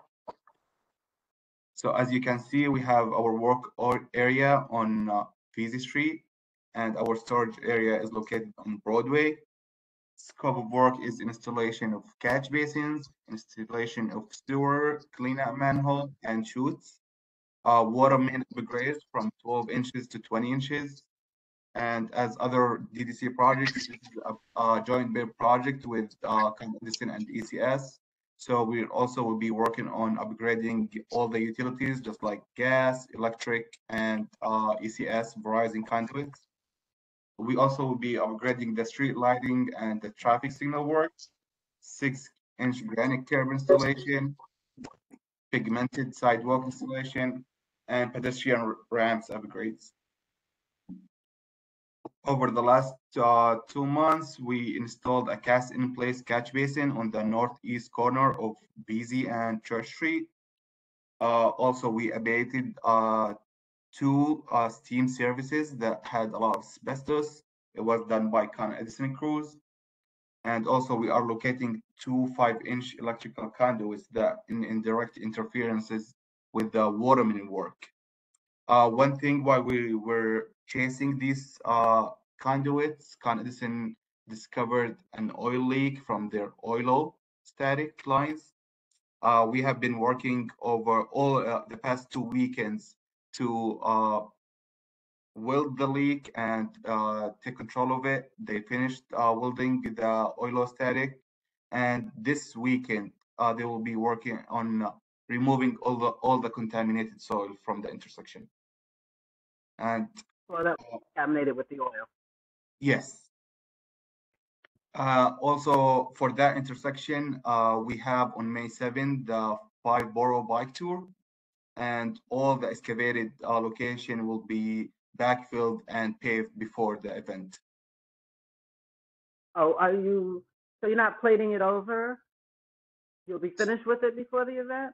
No, we will not be finished. So it took uh, most of the time we spent it removing the concrete base. We will not be restoring concrete base. It will be a clean backfill and we will just pave it. As you can see in the picture, we cannot lower the plates anymore. All of these utilities are very shallow. So we don't have room to drop the plates and pave over the plates. So we will have a detailed discussion this Saturday, actually, with Con Edison and the contractor to see what's our options. But we have to have the intersection paved before the uh, bike tour. Fine. Lucian has a question. Sure. That's all right. It's, it sounds like uh, other workarounds may not be available due to the shallowness of these, of these utilities, but, you know, as always, uh, CB1 is uh, standing by to assist in, in, in helping you go whatever route uh, uh, creates the, the, the, the least amount of delay for this project. Um, we, you know, we want this to be uh, not delayed uh, any more than it has to be, and uh, as in as we have in times past, uh, we'll go to bat to to advocate and whatever you all think is the best way to go forward on this. I appreciate that, Lucian, and we'll definitely reach out. Uh, as I mentioned, uh, backfilling this trench and paving over it will not delay the project as this is very small. To be honest, most of the delays we are having is because of the utility interferences. And uh, as I mentioned before in previous progress meetings, uh, we are dealing with the aftermath of 9/11. And every time Con Edison go to a vault or to a manhole, they find structural defects, which is delaying the project. Con Edison crews cannot go to the vault to do their work unless this vault is repaired. And this was not anticipated in the design phase. Oh. Yes. Bashir, would you just tell me again what the estimated completion date is? Uh, it's uh, in September 2024, September 17.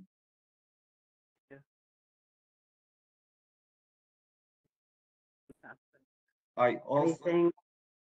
I still have some pictures for you. Uh, we also install upgraded the gas main from six inches to eight inches. You can see on the left left picture. That is that beautiful new blue pipe, the gas? The green pipe is the gas, yes. Yeah, And beautiful. and we had to do a tie-in and uh, switch the service for the deli uh, on 26 Vesey Street, so they do not we do not interrupt their service. So we did all that work without interrupting any service on the block. Uh, we also removed some electrical cables and electrical conduits uh, for Con Edison. They were in direct interference with our water main upgrade installation. And that, that was the work that was done in the past two months. If you have any question, I'm ready to answer. Anyone? No. Great, you do, and I don't speak up. No? Nope, oh, that's great. see, Richard has his hand up. Richard? Richard? I'm sorry.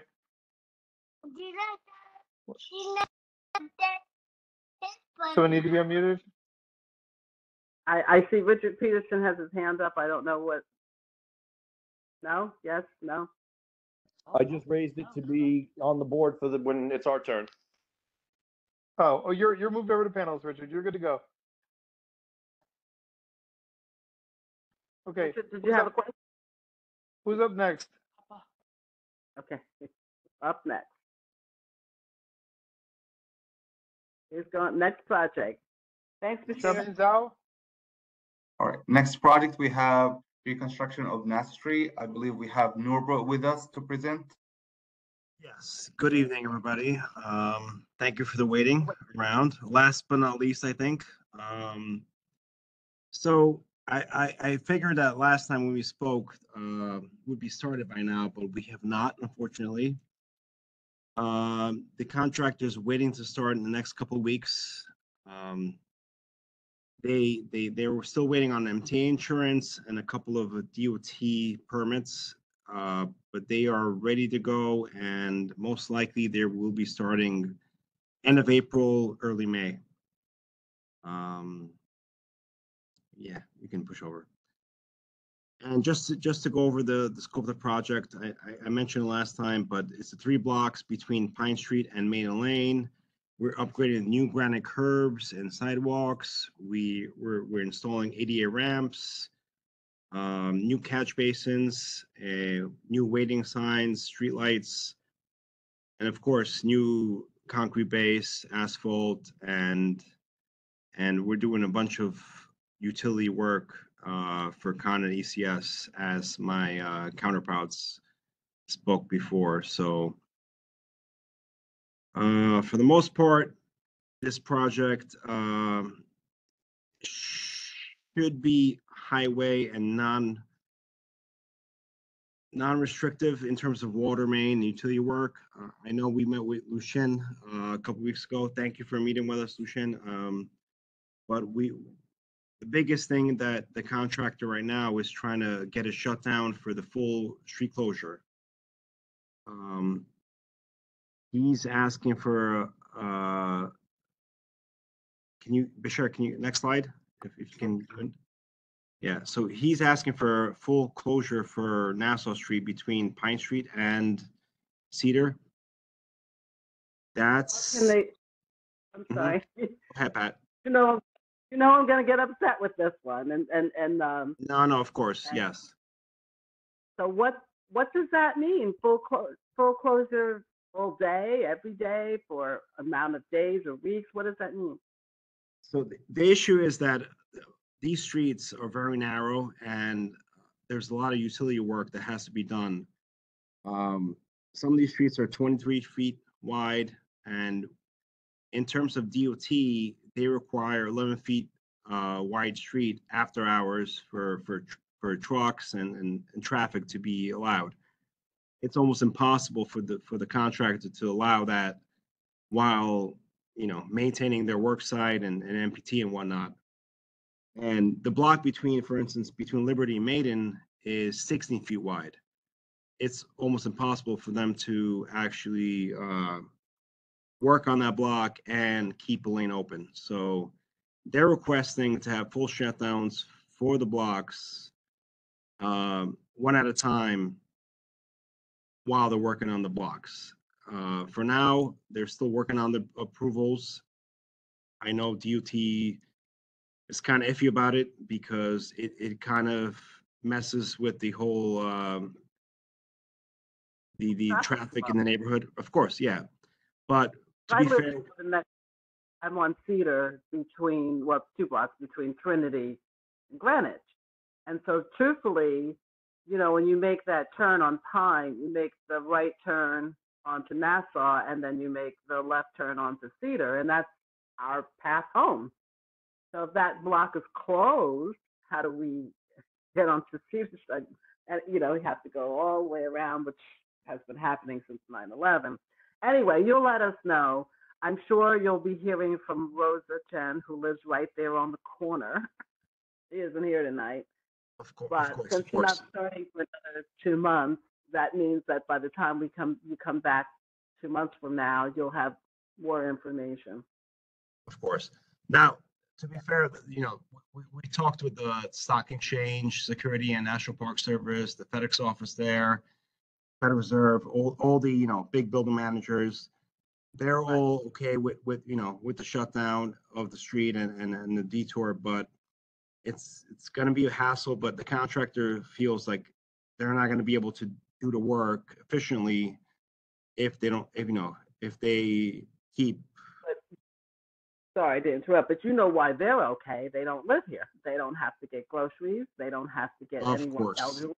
And that's why, that's why, of course, that's why we're trying to work with, you know, community, make sure that everybody's involved and, and whatnot, but to, to be as efficient as possible with the work, we're, we're gonna try to make sure that they, they, they do the work as efficiently as possible for the block and they move on to next block and next block and whatnot, but You know, we Um, want everything We want it done quickly and we don't want to be inconvenient. Right, I work your magic, right? right. So, okay. So, Keep so warm. plan, so, so they're planning on starting in late April, early May, and they're gonna be doing test pits, most likely, uh, various locations. And they're, they're gonna start working between Pine and Cedar. And once they have the approval for the closure, if they get the approval, they'll be working on that block first. And that's a basic, uh, outline of the detour that they proposed. And how long do you think this project will take? The completion is June, the completion is June of twenty-five. Um, the contractor has not submitted their schedule yet, but they're gonna do it in segments, so when they finish a block, they'll move on to the next block and so on. Well, again, we will continue to talk and if they, if they, if they, uh, start the work before you come back, would you please let Lucian know? Of course, I of know course. you're doing the, the buildings. I don't remember what, um, what the address is on the corner, Rose's address is, but she's right there on the corner of Pine and, and Nassau, you know, that Yes, and- and- residential building. Yes, and Tashlima is not available today, but she, she's in, she has contacts with everybody in the community. She, we, we met with Lucian and, and she has everybody, you know, everybody's aware of the shutdown and the detour and, and, and the whatnot. So, so when, when the contractor starts, you will get notifications and whatnot, but Thank you. no problem. Hi, Pat. Yes, there is a CCO on this project, Tashlima. She is on the call, but she um is not able to speak. But she is uh, the liaison on the project. She will provide notices before work starts and any impacts as well. Absolutely. Yeah, I, I mean, I know you guys do your outreach and, and, you know, but you know, like I said, we want to complain anyway. But thank you. So Anything else about this project right now? Not yet. We'll, we'll, we'll have more updates when, when we actually get started. Thanks, Norbert.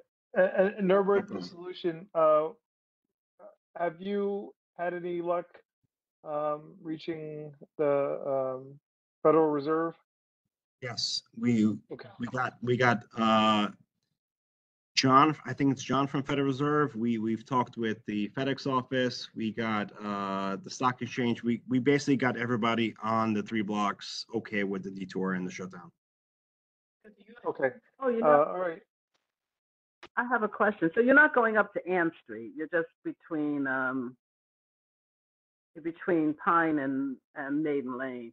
Because now that we've had this collapse, we don't know what this building, you know, because it's between Nassau and um William, you know, but it's on Ann. But now with this collapse, we have no idea what how this is going to impact anything, and I'm sure you guys don't know because it just happened yesterday. So uh, you know, we'll just keep talking, right? Right, we have no idea. No, no, we have no, Yeah, that's yesterday. You know, they're gonna have to chuck out all that material, and so we'll just see. All right. Anybody? Is there another project? Is that the last project? Uh, we still have one upcoming project, and we will have Louis, the engineer in charge, to talk about it. Louis, are you with us? Thank you, Richard. I'm here. Yes, I'm here. So the next project is upcoming, which we are expecting to start in early fall this year. Is the reconstruction of Trinity uh, Place between Cedar Street and Morris Street. Next slide.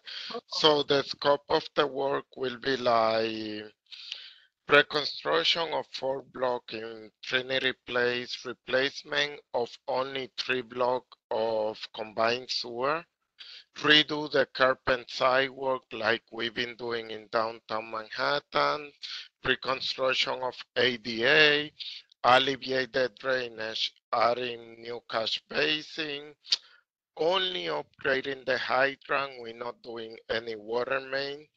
And it's a joint bid project along with ECS and Con Edison. Any questions? Yeah. So Louis, I'm sorry, I missed. It's from um, it's on Trinity between which from Cedar to where? Cedar to oh, to Morris. Morris.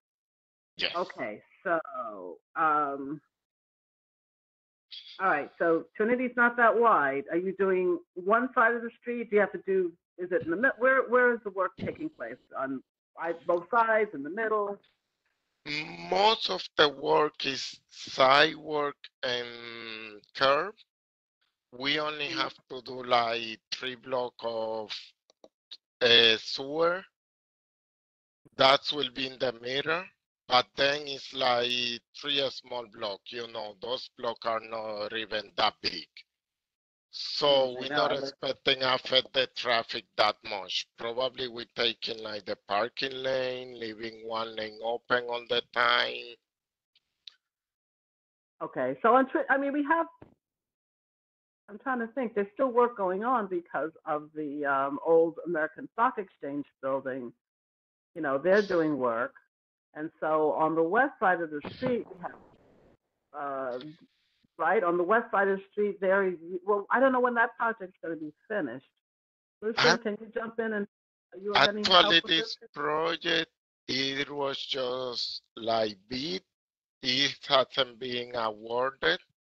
So we are expecting early fall to start, but we will have to coordinate with another contractor in the areas. One is ready to NTP the project.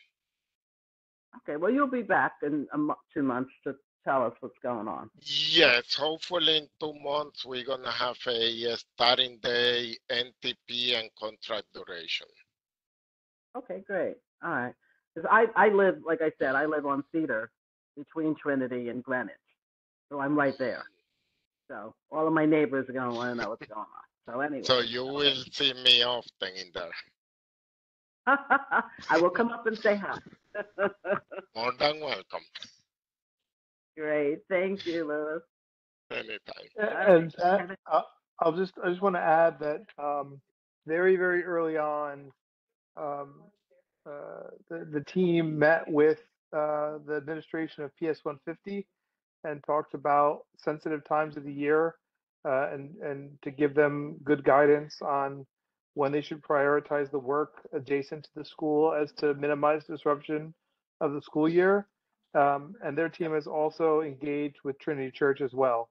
So um, those are two, you know, very uh, important stakeholders. Uh, but again, you know, we CB1 always stands ready to help uh, with making additional connections, and then um, it's probably enough time has elapsed to talk to PS 150 again, um, since now they've they've been operating in the building for a while. Right. Yes, Lucian, you're correct. We got a meeting with the church. We asked them for the sensitive days, but as, at the moment, we are not coordinating anything because we don't got REI on board. So once we got a CCL on board, we will be in contact with the school and the church, and they're gonna provide us with the days, and we will forward it to the contractor. And, and like I said, the former American Stock Exchange building, I mean, they're doing interior work, but I don't know, they're, they're, they're bringing materials.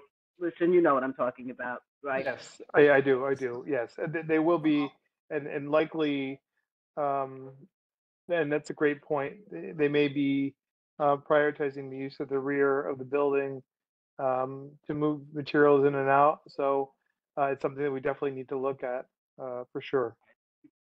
At least. Pat, Pat, this is Dushyant. Uh, sorry, Pat, this is Dushyant. Uh, for Trinity Place, we have the MFM contractor, the, is, uh, has won the contract. So it, it is the same contractor that work on, uh, Broadway Phase One from, uh, Rector to Ann Street, and we coordinate with St. Paul Church and the Trinity Place. We accommodate their, uh, uh, events. So I don't see any uh, issue regarding the coordination when the work starts. The Yeah, but contractor is very, I'm Yes. sure, but I was just saying, you know, the former American Stock Exchange building, they're doing interior construction. And so they, I know they're moving, I, I- I'm sure you've done outreach to them already, or maybe Hi, not. Pat. Hi, Pat, this is Marlene. We can touch base with um, Lucian and if it's possible, provide contact information for those um, Yeah, I can places. I contact- know we've contact. spoken to PS one fifty already, but any other contacts you deem important, we can always reach out to them in advance of the work Yeah, because um, it's, it's a great point. Because if there's going to be any sidewalk work on the uh, on the east side of Trinity, uh, you may want to get word to them before they throw a sidewalk shed up. Um, if they're going to do any kind of that work. Right. Okay, Yeah. thank Okay. you for the heads up. It hasn't started yet, so I'm sure you'll do your outreach and, and Lucian will help with what, whatever and, and yeah, great, thank you. Any, any other projects? Um, before before we move on to uh, the MDC, I just want to make sure Scott gets to go because Scott's always he's not DDC, but he's always patiently there, uh, and it's a very similar project. Well, let me just ask, everyone from DDC, are you, that's it? Those are the projects? That's Yes, Yeah, 'cause I- everyone Yes, from that's infrastructure, yes, So- thank you. You know, thank you so much. I'm sorry you had to wait. We, we really appreciate you coming every other month and filling us in on projects and being sensitive to the issues of the community. You all are great. I really do appreciate you, so thank you. So go and enjoy the rest of the day. Have a good night. Ambassador next. Take care Bye-bye. and bye. Thanks. Scott, where are you? Good evening, Pat, Lucian, everyone. How's everybody? We're well. How are you? Good, good, good. Friday's almost here. Yeah, not soon enough. yes. so, yes, I'm the CCL for the Water Street project. Uh, currently, we have four open locations. The first one being at the intersection of Water and Whitehall, where we're continuing to work on Con Ed's electrical facilities. Our second location, Water Street between Broad and Coenties Slip. Uh, we're continuing uh, excavating the roadway and sidewalk to install Con Ed's electrical duct system. The third location, water between Coenties Slip and Hanover, uh, we're also doing the same work, uh, digging the roadway and sidewalk for the installation to relocate Con Ed's electrical duct system. And last but not least, uh, Water Street between Wall and Pine. Uh, we're continuing to dig to install for Con Ed's 24 inch steel gas main. I also wanted uh, to make a note that we've also coordinated uh, this week with uh, Special Events for the upcoming Five Borough Bike Tour, which is going to take place on um, Sunday, May 7th. So we look forward to that event. And the last thing that I have to report is our eighth installment of our project newsletter will go out tomorrow morning. And that's all I have. If anybody has any questions, um, please feel free to ask. Anyone? Don't see any hands, Scott. You might be getting away scot-free. I don't see hands. And if you just needed, um, our anticipated end date is now June of 2025. You? We're gonna be together for a while, Scott. Yes, Yep. definitely. always In good company. Come and join us, so thank you. You're welcome. All right, if there's anything else, then thanks again and enjoy the rest of your evening and we'll see you month after next. Thank you. You do the same. Talk to you later. Take care. Bye.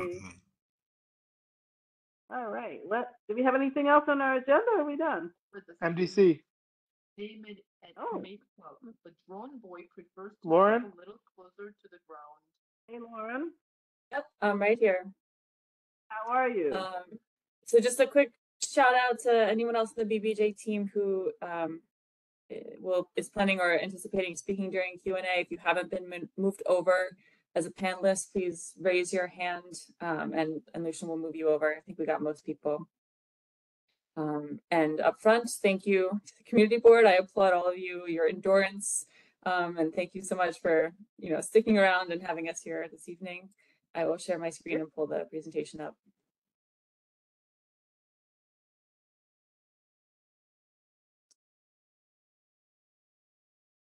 Full screen. All right, are you all seeing the presentation full screen now? Okay, Yes. great. Great, thank you. All right, so it's a similar agenda to what we've presented in past months. Um, we'll do a recap of what we've heard in, in previous meetings and updates on those topics. Um, then I will hand it off to Richard Peterson from Gramercy to go through the dismantle project updates. Um, and then we'll finish with, uh, he'll hand it back to me. We'll talk about community engagement and upcoming um, engagement touch points, and then we'll open it up for Q&A. Since a lot of the slides uh, this time are repeats from past meetings, Rich and I are going to try to move through things really quickly uh, for the sake of time. But of course, during Q&A, if there's anything that we glossed over or went through too quickly and you want us to pull back up another slide um, and talk through some of the technical detail, we're, we're happy to do so. So what we've heard, um, so as, as always, we know questions about the, the project budget always come up and what's the new facility going to be. Um, so again, at present, there has been no change, um, but when, if and when that does change in the future, we'll be sure to let everybody know. Um, so for, for now, there's no update on that. Um, updates on the FOIL requests. I believe at the moment, we are current on all requests, so there's nothing outstanding. Um, but of course, Lucian, if I'm missing anything, let me know and we'll, we'll get to work on that right away um, for environmental monitoring. So we'll have the, the latest monthly updates on slides 10 and 11. And again, we always post our environmental monitoring reports online every month. Um, just ongoing concerns around roading controls. So we'll recap that as usual on slide 12 and what we're doing on the site.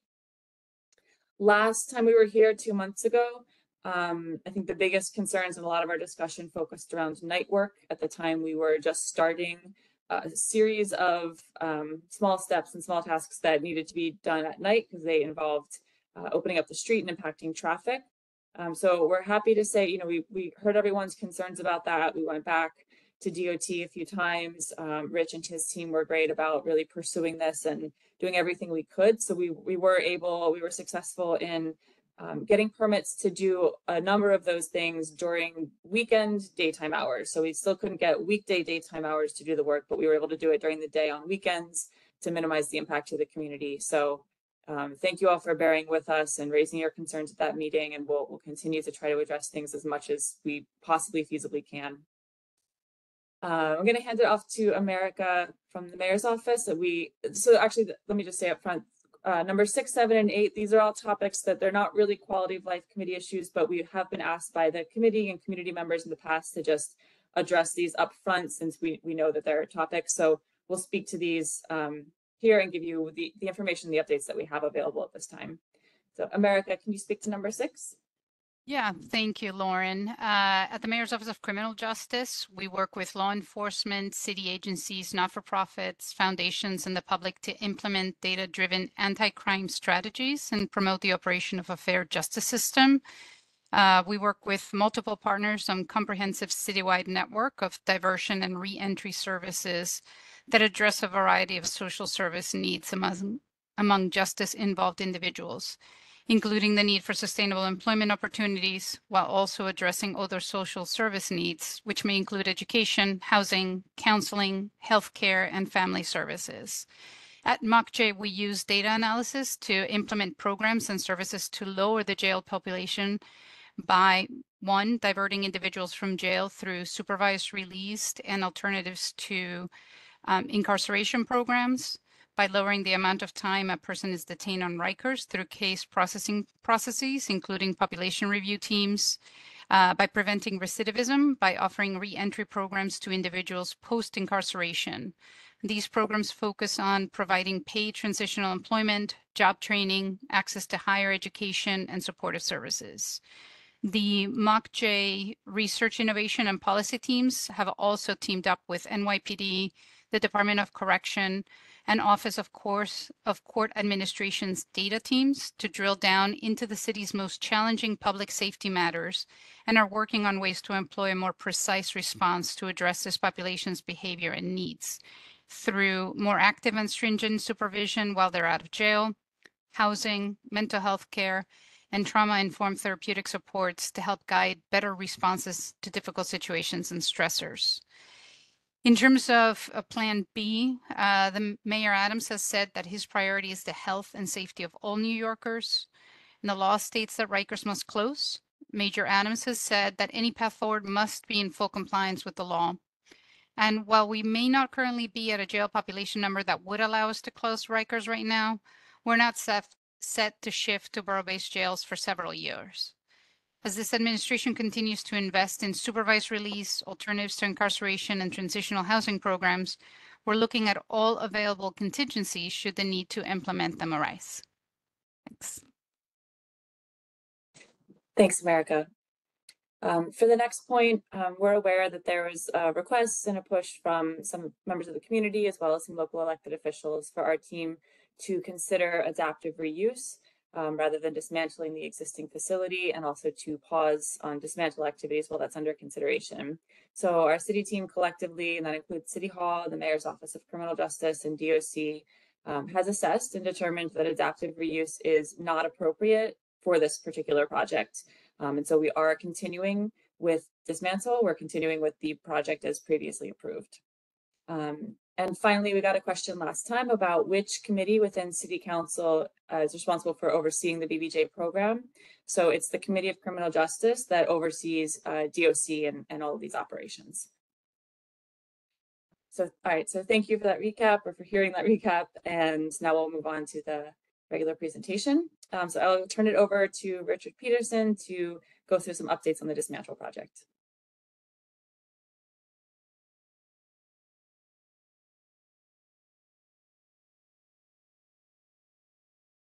Can everybody see me? Rego, I can hear you, Richard. I All can right, hear you. I I don't see. Oh, there you Now I go. can see you. Now we see you. Hi, Richard. All right, good evening, everybody. Um, I'm Rich Peterson uh, with Gramercy Group, here to give you an update on the dismantlement project at the BBJ. So right now, and I apologize, my, I'm on my phone tonight, so everything's a little bit smaller on my screen. Um, as everyone knows, site assessments and surveys have been completed and the site fencing has been installed. Interim Sally Port construction is underway and is expected to wrap up uh, towards the end of May. Internal work within the courthouse is also expected to wrap up towards the end of May. And the dismantle work, uh, which is ongoing, uh, is expected to work until the end of April of 24. Um, we are currently wrapping up interior soft demo and beginning the gym, and commercial space. This is an existing layout of the current site. Um, as you can see, the red indicates our existing, uh, site fencing. The blue hatched represents the sidewalk sheds.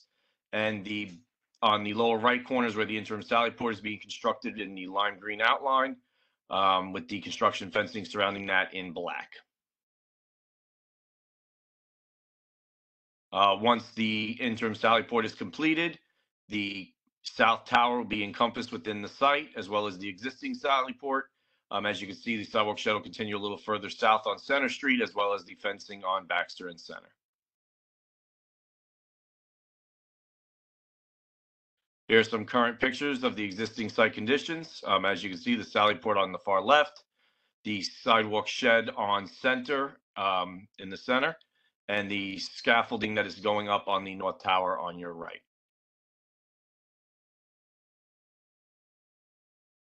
Uh, pink boxes indicate the rodent control bait stations, which are monitored monthly and are continuously monitored. Um, as I state every month, if anyone sees anything or has any, uh, observations, please advise us and we can address that immediately.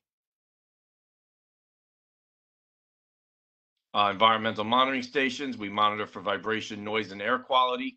The different stations are shown at their locations here on the right, um, indicated by the squares, circles, and triangles.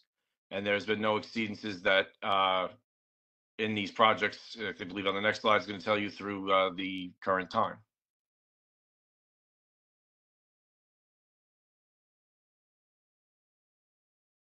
asbestos abatement has been completed, so as while this is relevant because it just finished up, asbestos air monitoring had no leaks uh, to their monitors as well. And I'll hand it back to Lauren. Great. All right. Thanks, Rich. Appreciate that. All right, uh, for community engagement, so one update that we have to share is that the commercial metered parking space um, that we were coordinating with CB3 and with DOT to establish that space, and that's to alleviate uh, some of the impact on the local businesses and restaurants. So there's a designated commercial metered parking space um, for use by vehicles that are delivering goods and materials to the local businesses that are essential um, for them to carry out their activities. Uh, that's been installed now, so that's a, an update we're happy to share.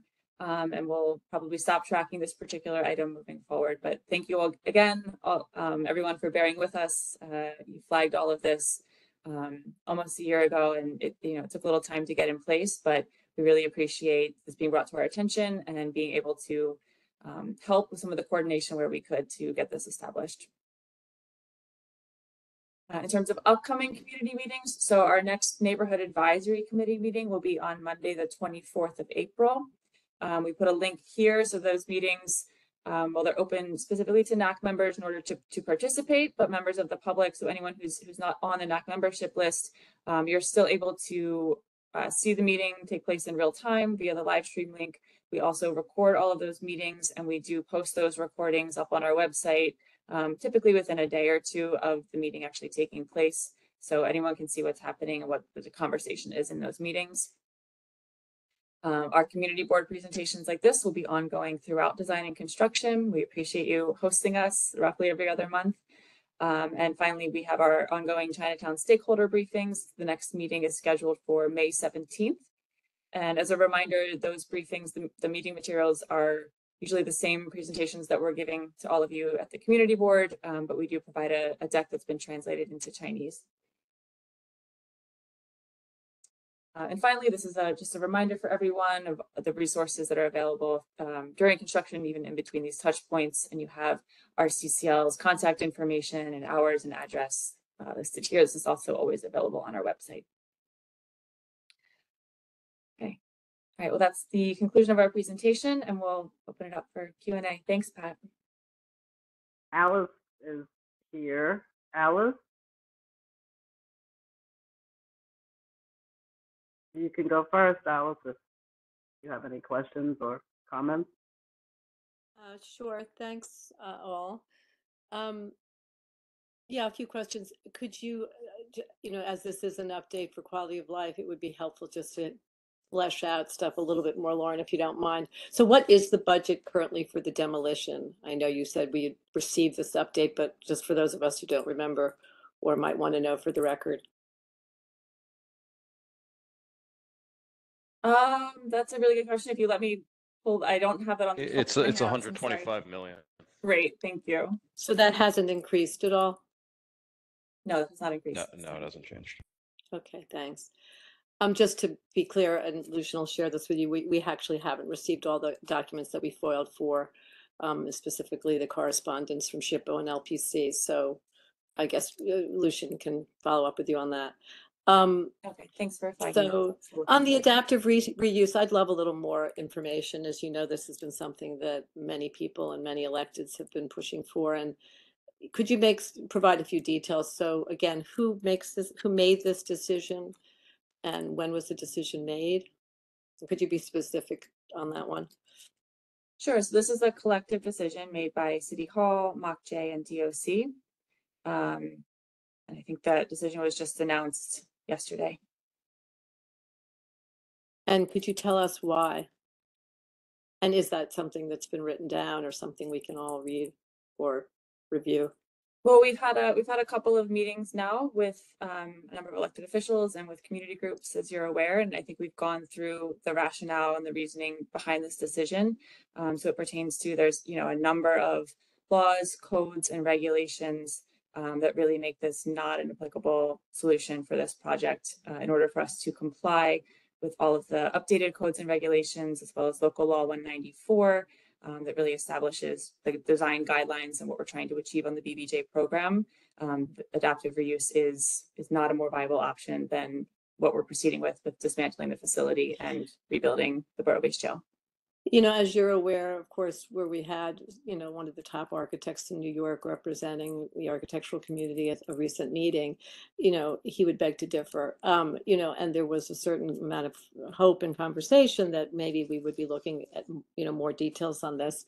I guess at a minimum, I would ask that, you know, on behalf of the community and the many people involved and, eh, you know, in the hope that to save, um, you know, the historic building and, and, and to save the waste that's involved in this project, um, you know, a, a slightly, well, at least a, a written statement um, that examines, you know, with detail exactly how this decision again was made and why. And I appreciate the summary you provided, but I wonder if we could uh, impress upon the office to give us a little bit more so that we have something that really we all can kind of dive into a little bit more, if that's possible. Um, you know, speaking on behalf of the community, I appreciate that. Um, Understood. We'll certainly make sure that that request is shared with um, all of our city partners. Thanks, Lauren. Um, ha- just a couple of other questions. Um, did you receive the demo permits for this building? From the built Department of Building, sorry. Yes, we have received a full demo permit. Okay. And a- are there any um state or federal discretionary actions or funding or licenses that are- come with this demolition?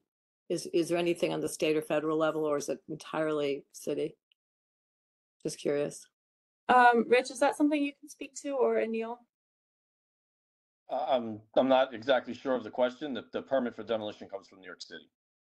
No, that's not the question. It's that, does the proposed demolition involve any state or federal discretionary action? Funding, licenses, or permits? In other words, I Uh, understand the city of New York has to sanction this with their Department of Building, but is there any other agency at the state or federal level that, um, you know, requires any discre- discretionary action? Other than, So asbestos was notified uh, to the state, but beside the EPA, but that is all. so, so this, there's only one state permit that was required and that was for the asbestos removal and that's it for the demolition? There's no other state or federal action? For demolition, no. Okay. Um, sorry, I'm just going down the, I think that, um, the request I've made and the questions that I've asked are it for now. Thanks. Okay, thank you, Alice. Thank you. Thanks, Al. Howard? Hello? Hi, can you hear me? Hello? Yes, yes, loud and clear. Yeah, yeah, I- um, Alice asked most of my questions about the permits. Um, I find it disappointing about the adaptive reuse, and then I also like to get more information of- on why that couldn't work and and, and get a more detailed explanation. Um, besides saying it just didn't meet current standards, you know? Why, why couldn't why, why couldn't we make it meet those standards, you know? If we could get a, a, a better explanation for that, uh, we, that'd be much appreciated. Um, the only other thing is, uh, is there a timeline, uh, for the demo and the project? I know Brooklyn BBJ is slated to be finished in twenty-nine. And that's the first project, and that means, um, this project is the last, and we're talking about probably 30, 31 or later as far as when this project is done. And the reason I ask this is that, um, you know, NUBC has gotten feedback from a lot of residents, you know, the young and mobile are just thinking about moving, you know, because they don't want to put up with the noise and the construction. And, and the seniors are just hoping they could last to the end of the project. So, um, uh, that's, that's the feeling we get from the, from the community. Thank you. Yeah, absolutely. We understand, Howard. I, I know, um, I think all of us as New Yorkers know that uh, enduring construction projects, especially in the vicinity of our homes, um, you know, it's a really trying experience and it's difficult. So that is what our team is here for. And our CCO, we're going to work with you guys to try to mitigate the impacts to the extent that we we can. Um, that said, of course, construction is disruptive and that is the nature of it. So um, please keep us informed. A, a number of you have been when you're um, noticing a particular source of noise that you think could, you know, could that be relocated? We've done that a few times with some machinery. We're trying to stay vigilant and think of these things ahead of time, but we do appreciate all of you communicating and sending your requests directly to our CCL. Um, Nikita's great. She's very proactive at getting these things in front of um, Richard and Anil and our team to, to try to see where we can make adjustments as we go. Um, but again, it is it is impactful. Um, so as far as the timeline, um, as Richard shared earlier, the dismantle process is going to go on through spring of 2024. Um, we're currently looking at April of 2024. We don't know the facility timeline yet. We're in the procurement process right now, and as part of procurement, um, proposers put together, um, you know, they're they're assessing what it would take to complete this project, and they're putting together design and construction timelines. So once we're further along in that process and um, we have a you know a selected proposal and we're ready to share that information. We'll update all of you as to what that timeline looks like. Um, I know that the information about Brooklyn has come out. That doesn't necessarily mean that that's going to be exactly what we're looking at for Manhattan. Um, so we just we won't know till we get there, but we will absolutely share that information as soon as we have it available.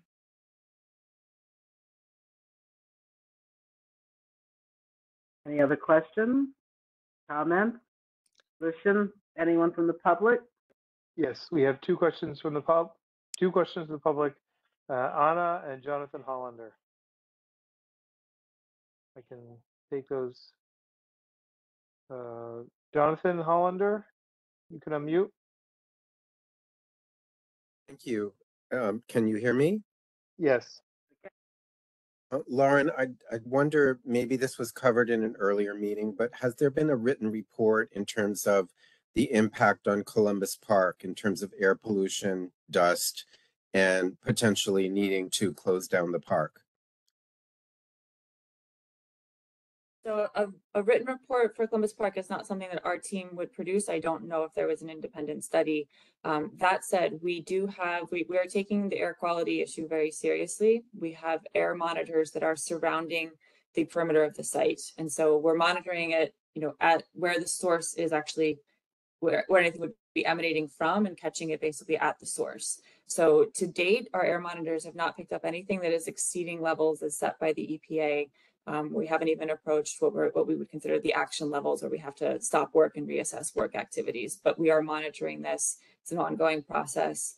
Um, and if there's if there's cause for concern, we will absolutely alert the community.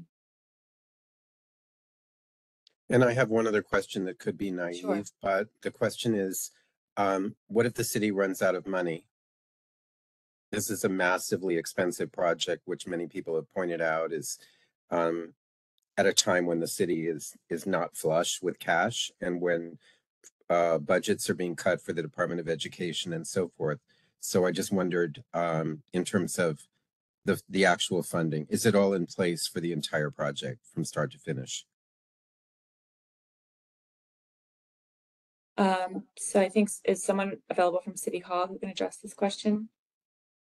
I can say generally speaking that the city is committed um, to building the borough-based jails program. But And we'll that's see not this really an through. answer to my question. Understood. Um, America, are you still there? And Lauren, I can jump in. This is Jeff from DDC. thanks, Jeff. Uh, the city doesn't allocate, the city allocates funding based on the fiscal year when the money will be spent.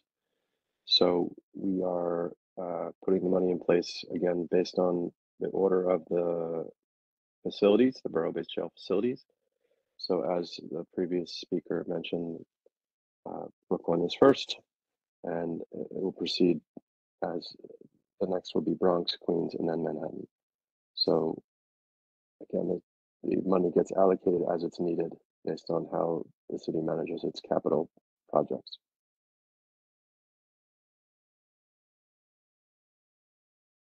Okay, Pat. Um, the next person from the public with their hand up is Anna. Okay. Anna, you're able to unmute now. I wanted to know, why do some businesses get a 10-day notice of demolition? And who got that notice? Uh, I have a notice here that says March 15th. And uh, it says 10-day partial demolition notice to adjoining property owner. uh, to whom it may concern. Please be advised that Gramercy will be installing support of excavation at the above referenced building adjacent to your property. This letter is issued as a requirement and a formality for processing the Department of Buildings permit, and work will begin once the Department of Buildings permit is issued. So why did some businesses get it and some not? And then who got that notice? So that, that is a formal requirement from the Department of Buildings, um, as it's maybe not so clear in the letter, but as part of the process for obtaining the perm, the permits to dismantle the building, uh, Gramercy, the contractor, is required by DOB to issue a letter to adjacent properties. So it's, it's properties who basically abut the boundary of our site and where we're working. Um, so it's a, it's just a formal requirement that it has, those letters have to go out. Um, we are also alerting other residents and other community members to upcoming work through our neighborhood notification network, and we include this information in our weekly bulletins and other things that are upcoming. So I know that some folks got the notice and then work didn't necessarily commence exactly 10 days after that, but it's a, it's an anticipated timeline and it's part of the permit approval process. Uh, well, uh, the, uh, ten days, uh, has expired quite a while ago, so are they gonna get an updated notice or what's, what's happening? So uh, updates about um up upcoming construction activity are included in our weekly construction bulletins that our CCL Nikita sends out every Friday. Um, so the the the ten day notification that goes out, it basically means that work wouldn't be starting in less than ten days, but in ten days or at some point after that, the as soon as the permit essentially is secured. And that letter is a prerequisite for getting the permit. It, it is a little bit confusing. I had to have Rich explain it to me a few times myself um, but it is part of the process. And so they are beginning the dismantle of the, the gymnasium structure. It's the lower level structure, not the tall tower. Um, that's, that work is actually starting this week. They're starting to work on the roof. Okay, okay, thank you very much. Yeah, absolutely. Okay, uh, we now we have a question from Jan Lee. Oh, oh my gosh, uh, actually, um, we have uh, some member Grace Lee uh, put her hand up. So, Pat, I probably yeah. So remember, Hi, how are you? Um, so I have a representative on the, on the call and they just let me know what, uh, what was being shared and I apologize if I'm not getting all the details right, but it sounds like the, there is, uh, some decision to make that, to have the demolition going forward. So myself, Senator Kavanagh, who's actually in my office with me right now, uh, as well as the borough president and the city council member, Christopher Marte, had a meeting with the DDC and community members where the DDC had promised that we would be receiving documentation to justify their decision uh, for moving forward with the jail. We did not receive all of that documentation. We were also promised a follow-up meeting to discuss this further. So I think that we are incredibly disappointed that we are hearing that this demolition is going to move forward without another meeting with our community, without the documentation to support moving forward with the plan as is. And we'd like to know from the DDC when we will be receiving that documentation. We would also like to see that this demolition is halted until we have that next meeting.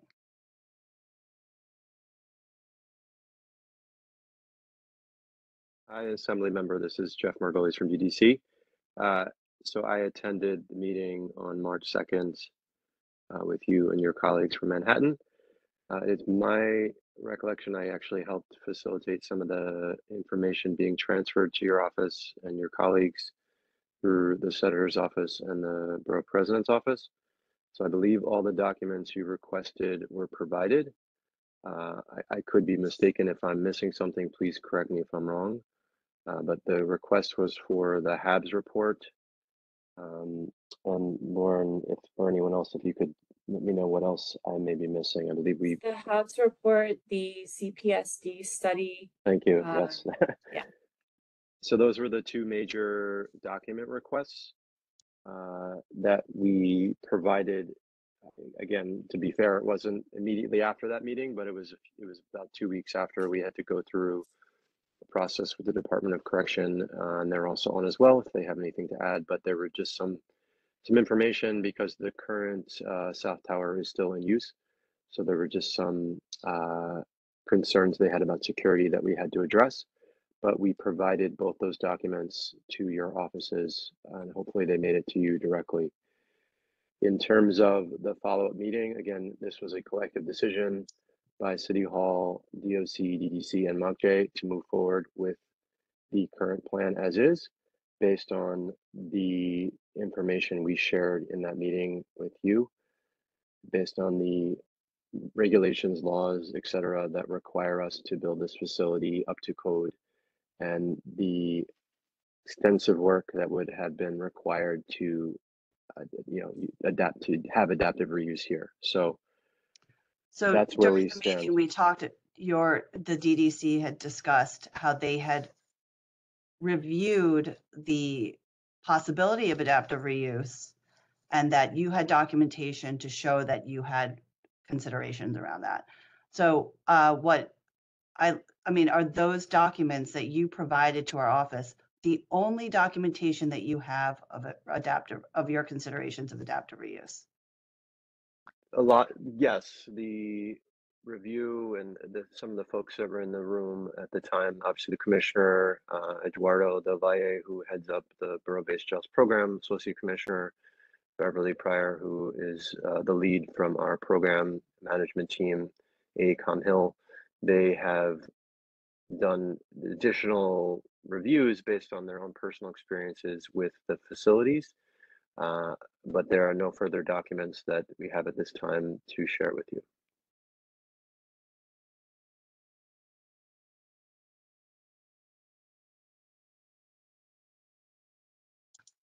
I have Senator Kavanagh here as well, so if you want to just jump in here. I, on you, we're busy doing the budget up here, so just, but just again, I, my, you know, we appreciated the tone and substance of that meeting and the city made specific commitments at that meeting that you would provide whatever information we had, and then we would have further conversations about the community's desire that there be some kind of a RFP to determine whether there's anybody out there that thinks this, that this is possible and, you know, adaptive for reuse, and that you'd provide us with documentation. And then having provided that documentation, which de- was denied over the course of the prior administration when this decision was made, that we would have a further conversation. And there were firm commitments to that. And the commissioner uh, and others told us that, uh, you know, they wanted to be a reset and wanted to really have a collaborative process with the um, with the community and with the local elected officials. And just, you know, hearing about this now, you know, we're not there in person or even, you know, I frankly wasn't on before now because we're busy trying to do the state budget, but this is just, and, you know, City Hall had suggested that they might be considering this, and, you know, I'd had a specific conversation uh, about, you know, the fact that the city owes us some material and further conversations before proceeding so that the community can have at least a minimal level of confidence that this is a decision that's being made on a reasonable basis and based on, you know, the, the actual facts of what's possible with this building. So it's really, again, really, it, it feels like, a, you know, a direct, um, you know, the city, the city making a decision direct specifically to ignore very specific commitments that were made to us, uh, last month. And, you know, it's really unacceptable. I mean, I think our request is that before we move forward, that we get our meeting with the DDC. And that we also get, you know, we get the supporting materials to demonstrate that the city has spent time to truly analyze adaptive reuse as a as an alternative and to demonstrate to us that it's not possible. Um, you know, we've also heard some conversation about that that the buildings are not structurally sound enough to do adaptive reuse. Both Brian and I have asked for supporting materials to demonstrate that engineering report or whatever to demonstrate that that is actually the case. We have not received any of that material as well. So I think, you know, we're very incredibly disappointed right now with where the, you know, the, what this is, what's happening right now. I certainly understand. I mean, uh, we'll pass that on to City Hall. Again, this was a collective decision. It wasn't just DDC, but uh, there there were extensive conversations between the agencies represented here tonight about the, the plan forward, and this is the plan that the city has decided to take. And City Hall is aware you're announcing it at this meeting tonight? Yes, it was my understanding that there were some phone calls made the other day. I'm sorry if that uh, didn't occur, but it was my understanding there were phone calls made to the elected officials. Uh, but Right, I got uh, a call, I got a call from somebody at City Hall saying they're planning and announcing this. And I said announcing this now would be to announce it without living up to some really basic promises. um, That the community uh, was, that was made by the city to the community. And th- this is just, again, this is not, you know, it is, this is the city's decision, but it is not a, you know, a reasonable way to engage with either elected officials at all levels of government or with the community. I did not receive any call from City Hall on this, that this announcement was going to be made. I, I apologize on behalf of the team. I, I- again, I'll, I'm, I'm texting folks from City Hall now, so they're aware of the concerns. Uh, and, you know, I, I will encourage them to reach out again. And if there's something we can do to make this better, we certainly will. Again, the collective plan is to move forward. The way, Jeff, this isn't obviously not your decision by yourself, and I don't mean to personally, but the way, the way to make this better is for the city to rescind this decision, which is being made in spite of specific commitments that you made six weeks ago. My staff has been following up with the city regularly. I know our, my colleagues have as well, to get the next meeting scheduled, to get the information that you promised, and then to get the meeting scheduled. And the city has declined, the city, the city is stonewalling us. And, you know, we all need to work together on a lot of things. And, you know, everyone in the community, I think, was frustrated by the prior administration's like inability to have, you know, open and clear communications about what was possible from the, from the first time this was announced all the way through the end of that administration. It is unfortunate that, you know, this is, this is a, this is a bad situation and this announcement is precipitous and directly contrary to what the city had. The commissioner and city hall was represented at the meeting and Department of Corrections was represented at the meeting. And so were many people on this, in this call. I mean, we can stop it. We should let other people respond, but it's really not acceptable. Here, and I'm sure he has something he'd like to add.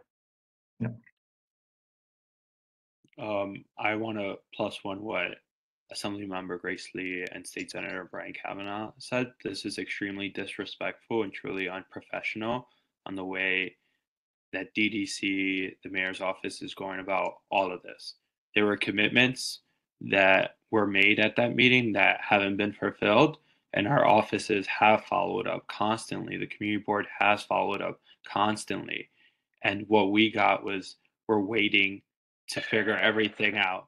And and there are some things that haven't been released you know whether it's the schematics or floor plans that i asked for so then our own engineers and architects can take a look at it so then they can make their own independent analysis of whether adaptive reuse can be done you know we did a call for an rfp to for adaptive reuse so we can have an independent person also see if it's possible to actually do it. And i feel like the city has failed this community has failed to trust the process to to realize what we can do.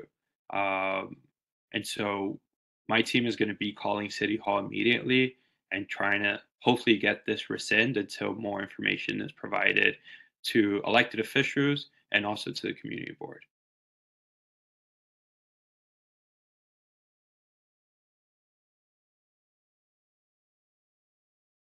I think we can Okay, also. I think what, oh, sorry, go ahead, Jeff. Sorry, Lauren. I was just gonna say, you know, I know we also had the NAC on Monday. I mean, maybe that's the next forum.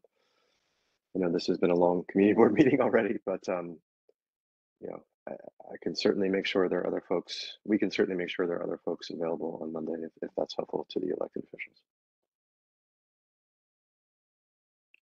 I think there should Okay. definitely be a pause on anything before there's a real discussion with every elected official around the table, with the community board chair there as well, before you move forward, even taking a piece off of that building.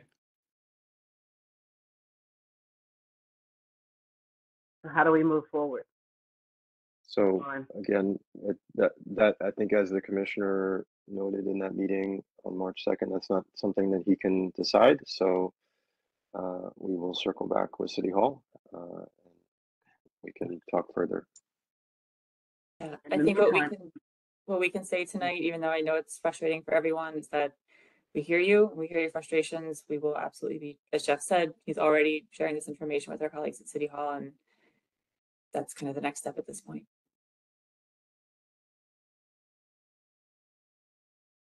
Will we, well, I guess you can't tell us if we'll hear, hear anything from you by tomorrow.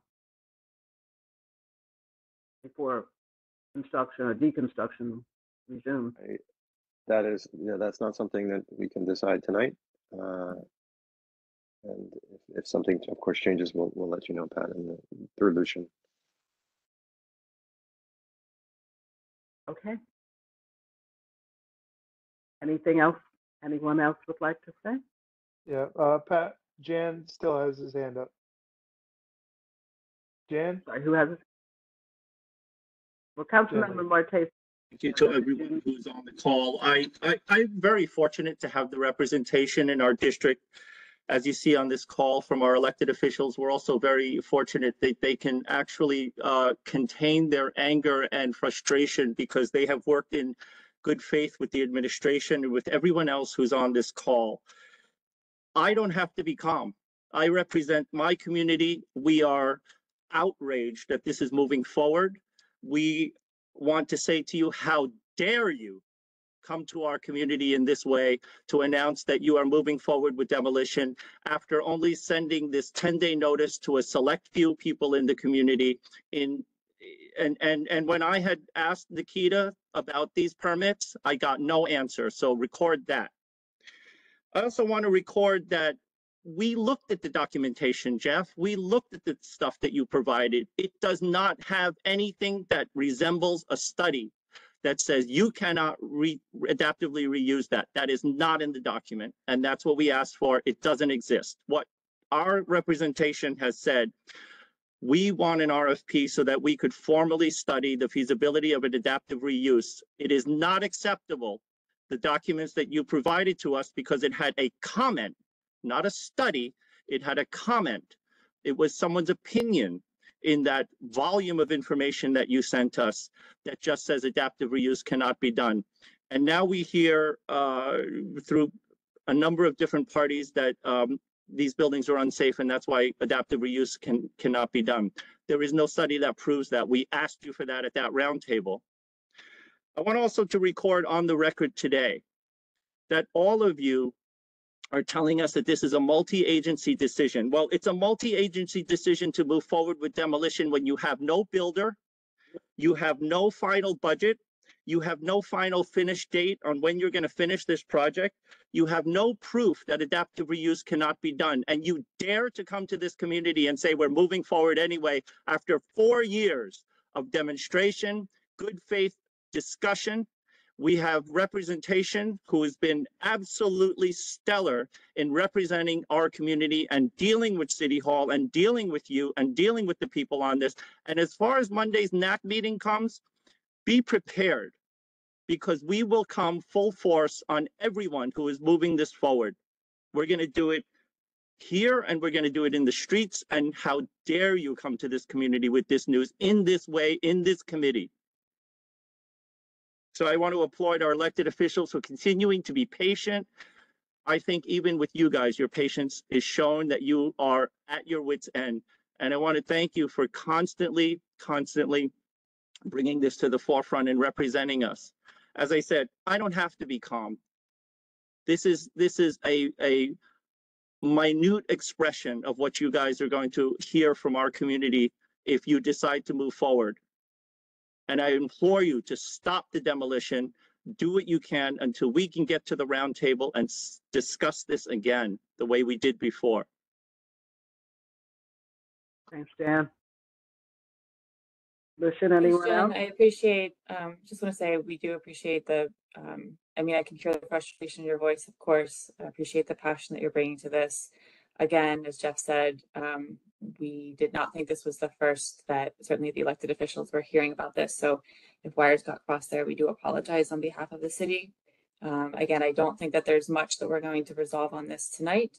Um, of course, we, once again, I just want to say we, we hear you, we acknowledge this. Um, of course, we're sharing this back with our partners in the city. And if there's, if there's an update that we can share, we'll let you know. Listen, anyone else want to make a comment or have a question? Yeah, we have uh, Aura Rosenberg from the public. Aura, you can unmute. And I'll wait till the very end, Pat. Yeah, yeah. Oh, there's Tammy. Okay. Aura, you're able to unmute now. There we go. Go ahead. Also, it's, it's very late, I, and I'm a member of the community and listening to Jan, I just want you to know that I feel the same way that he does, and there's so many people who live here who really feel the same way. We feel frustrated, ignored by outsiders who've come here to build this jail. We protested for four years. I think you just need to hear from me, but I'm not the only one. We've tried and tried and tried, and nobody seems to care to listen. As a matter of fact, we were outright lied to by the mayor. So, um, just an average resident of the community, we really resent the way you're treading over our desires uh, to protect our community. And like Jan Lee says, how dare you? Thank you.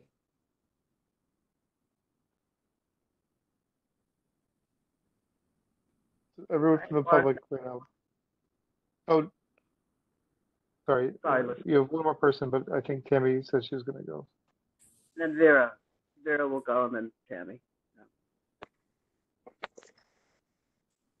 Yeah, I, I just want to say that, um, no, I'm, I'm not frustrated. I'm actually disgusted with the way this process uh, has gone forward. Lauren, you say that, um, you know, uh, you had, you informed the electeds. Well, I know for a fact that Jan, who's not an elected, who is a person living here and whom you know has actually emailed Nikita over this weekend asking specifically for the status and there was no answer to that. So again, you the methodology and the process in which you're at which the city and you are moving forward on this is just trying to blindside this community, which is completely unacceptable. And I thank God that we have great electeds who who are working hard for us to make sure that this does not happen. And it is very clear to me that the city wishes to move forward so that there will be a community that is left in shambles and a hole in the ground with nothing there and nothing to speak for. And we came forward with a solution. It was a win win win solution. We asked you to look at it in good faith, and you refused and have not given one good reason as to why you would not look into this. So, you know what? This voice is not of frustration, it's of utter disgust. And frankly, you know what? I am not surprised. That is all I wish to say, Tammy, at this moment. Okay. Uh, Vera?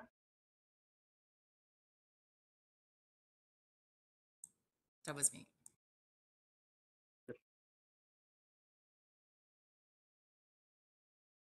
Are you unmuted, there? That was me. Ta- Oh. Are you taking your hand down or do you have something Vera, want to say? Vera just spoke. That was Vera speaking. Sorry, Vera. It didn't sound like Sorry, you. I'm sorry. Pat, I know. You probably You don't hear her that angry that often. It's been a long night. All right. So anyone else from the from the public? Uh, Lucia? Yeah, we have uh, Vittoria Fariello. Vittoria, you can unmute.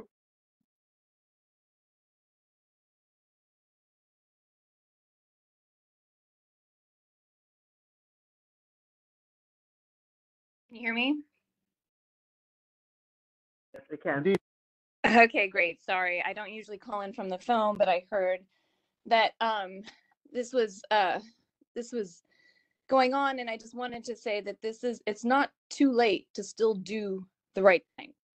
Um we can still do the right thing here. The city doesn't need to move forward tomorrow or the next day and I think it's important that you pause and you actually think about and talk to the community and actually consider something that is so much more viable and so much more appropriate for what we need and what this community needs, but also what the city needs.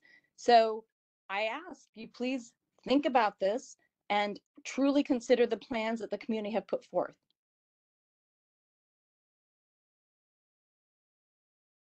That's it. All right. No, Uh, I'm not um chiming in to respond after every person shares. I just, but collectively, thank you all for sharing and you know, we're we're here and we're listening. I'm still here even though I'm not, you know, I don't have new information to share after each comment, so but just wanted to let you know we're still here. Thank you. and Jeff, you're still here. So I don't. Is there anyone else, Lucian, from the community? No, Pat, that was, that looks like it's everyone. Okay, so it- this took an unexpected turn, but is expected on some level because the community has been asking for this. So all I can say at this point is that you will get back to us as soon as possible. You'll get back to our elected officials. Tammy, you have something you wanted to say? Yeah, thanks. I'm trying to get to my computer to log on, so I apologize for the delay. I'm Lauren, I appreciate the apology. I appreciate the dialogue that you are giving us.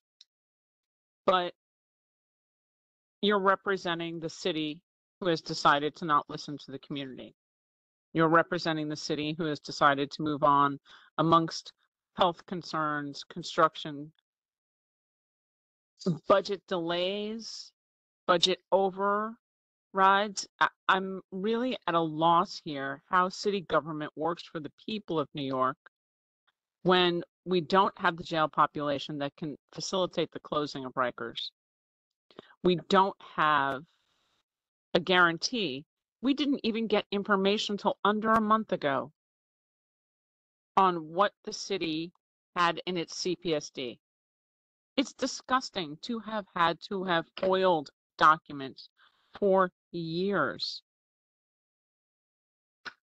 And then this truly feels as if the city, who finally got it to, to sending us the information, realized what the problem is and therefore pulled the rug really quickly before the public had the opportunity to hear and be considered. I can tell you from sitting on the neighborhood advisory committee, their report in the CPSD is factually wrong. It is untenable. And while I appreciate you sitting here and listening and saying very nice platitudes, it changes nothing. And in this case, when the ci- when the citizens of New York are correct and you fail to meet the deadline, it is ridiculously over budget that we will need to pay for. And the consideration of the RFP of adaptive reuse and all the feedback that we have given and asked for is ignored. The booby prize will be that the citizens of New York were right.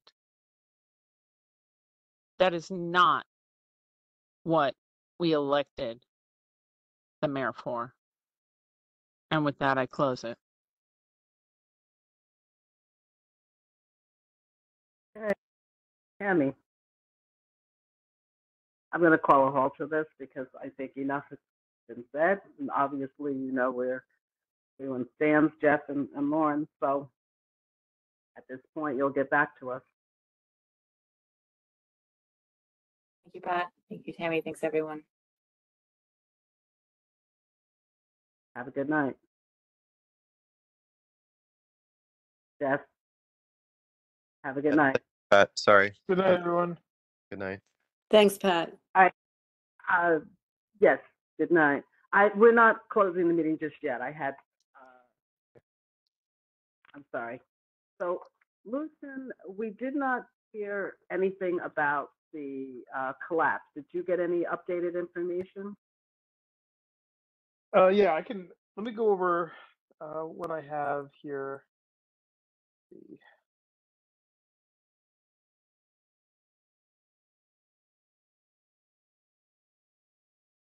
All right, so just for the benefit of, of, of retrospect for anyone who's watching this video in a couple of years, uh, yesterday uh, in the early afternoon, a uh, parking garage uh, collapsed on Ann Street, uh, but right by the corner of South William.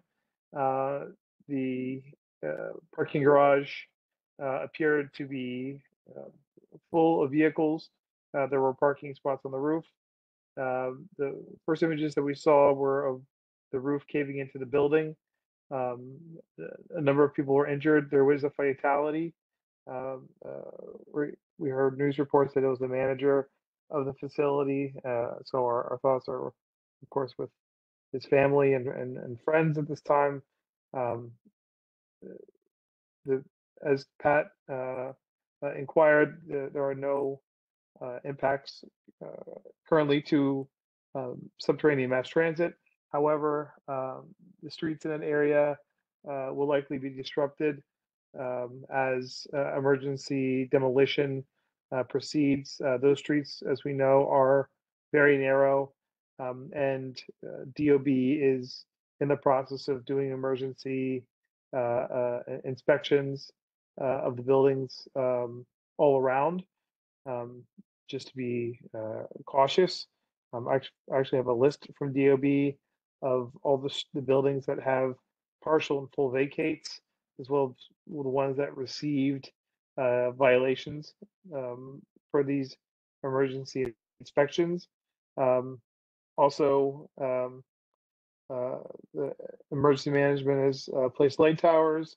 Uh, uh, DEP had put out uh, air monitors, and they have not detected asbestos at this time.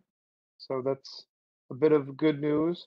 Um, let's see, injuries is a total of eight patients, six individuals with minor injuries, one individual with moderate injuries, and then the one who we spoke about had succumbed to their injuries. Um, the following street closures are likely still in effect. Ann Street between Gold and Park Row, Nassau between John and Beekman, Dutch Street between John and Beekman, Gold Street between John and Beekman, William Street between John and Beekman. Um, if anyone has any updates that they've seen any of those streets actually open, uh, that would be news to me at this point. Uh, and I welcome any updates from any of our members uh, or members of the public who are on the ground. Um, and then uh, I will certainly uh, report more as um, as we get more information. But we, you know, the information sources are varied. Uh, we have information coming in from Department of Buildings. We have information coming from Emergency Management. Um, I had called the first precinct right when uh, Tammy had notified me that she caught word of this, uh, and they were already on en route to um, the collapse. So I'm certain that they are extremely occupied right now. Um, the the agencies that are still or are still on the scene um, and, and are currently uh, communicating extensively are FDNY, NYPD, Department of Buildings, Department of Environmental Protection, the MTA, Con Edison, uh, also Pace University and HPD. Um, Pace University has a large dormitory that's adjacent to the building that collapsed. So those students are likely displaced for some time. Um, and then, uh, yeah, so the, eh, I see that um, Diane had raised her hand. Oh, sorry, Tammy. Tammy, is your hand still up? The students are back in the dorms. Okay, They great. reopened the dorm buildings. There is one PACE building that is closed, but the dorm buildings did reopen.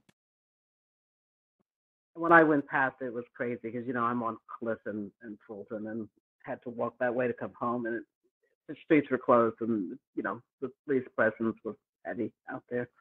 Um, we are going to have to talk about how, because obviously after the they've determined what caused the collapse, they're going to have to do a cleanup, and that's going to affect our streets, and they will remain closed, and it also will be affected by them carting the debris out. So that's a conversation to have in the future. Uh, does anyone else have anything they want to contribute, they want to say, or ask a question? Nope. Okay.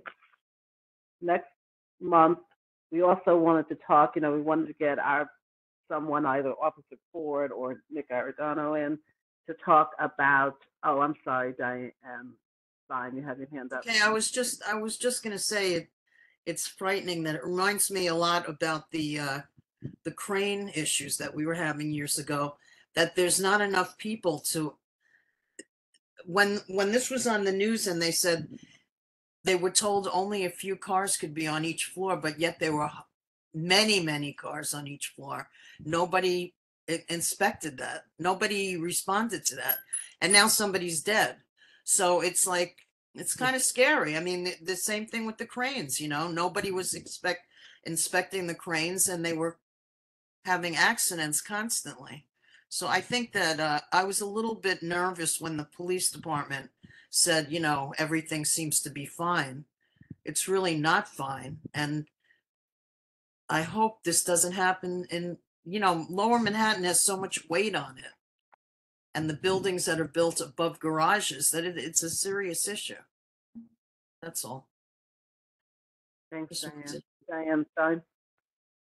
Um, I, I know, I know this has been a long meeting, but, uh, one of my neighbors had brought up an issue. I don't, maybe it might be for, for, more for the Environmental Protection Committee, but it seems like there's been like, in, all along the west side, there's been like heavy gusts of winds at times, like really strong that, that are very difficult, it's difficult to navigate. And she, she had written to the coun- council member Marte, trying to see if there's any kind of way that this, that the city could do wind mitig, some kind of wind mitigation. I don't know if the flood plan would address any of, of the wind issues. Um, but I'm just throwing that out there and maybe something for a future committee meeting, or maybe something with joint with the Environmental Protection Committee. That's, that's We it. can talk about it. I think, did Lucian reach out to you at all? Okay, so we can talk about this. I mean, one of the issues is we live in a wind tunnel.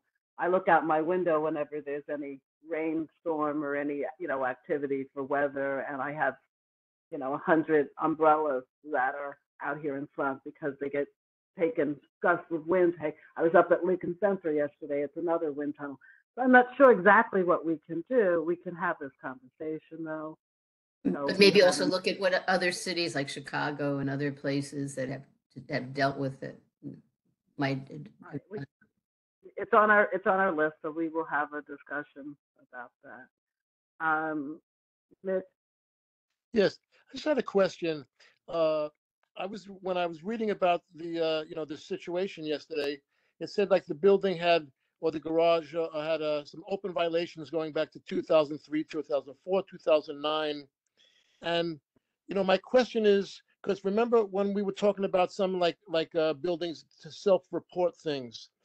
And I was just wondering what the process is. I mean, if you get a parking ticket or you get a summons for not paying two dollars and seventy-five cents in, in the subway, you can't go twenty years without getting, you know, you know, getting something happening to you, or, you know, getting your wages garnished or something like that.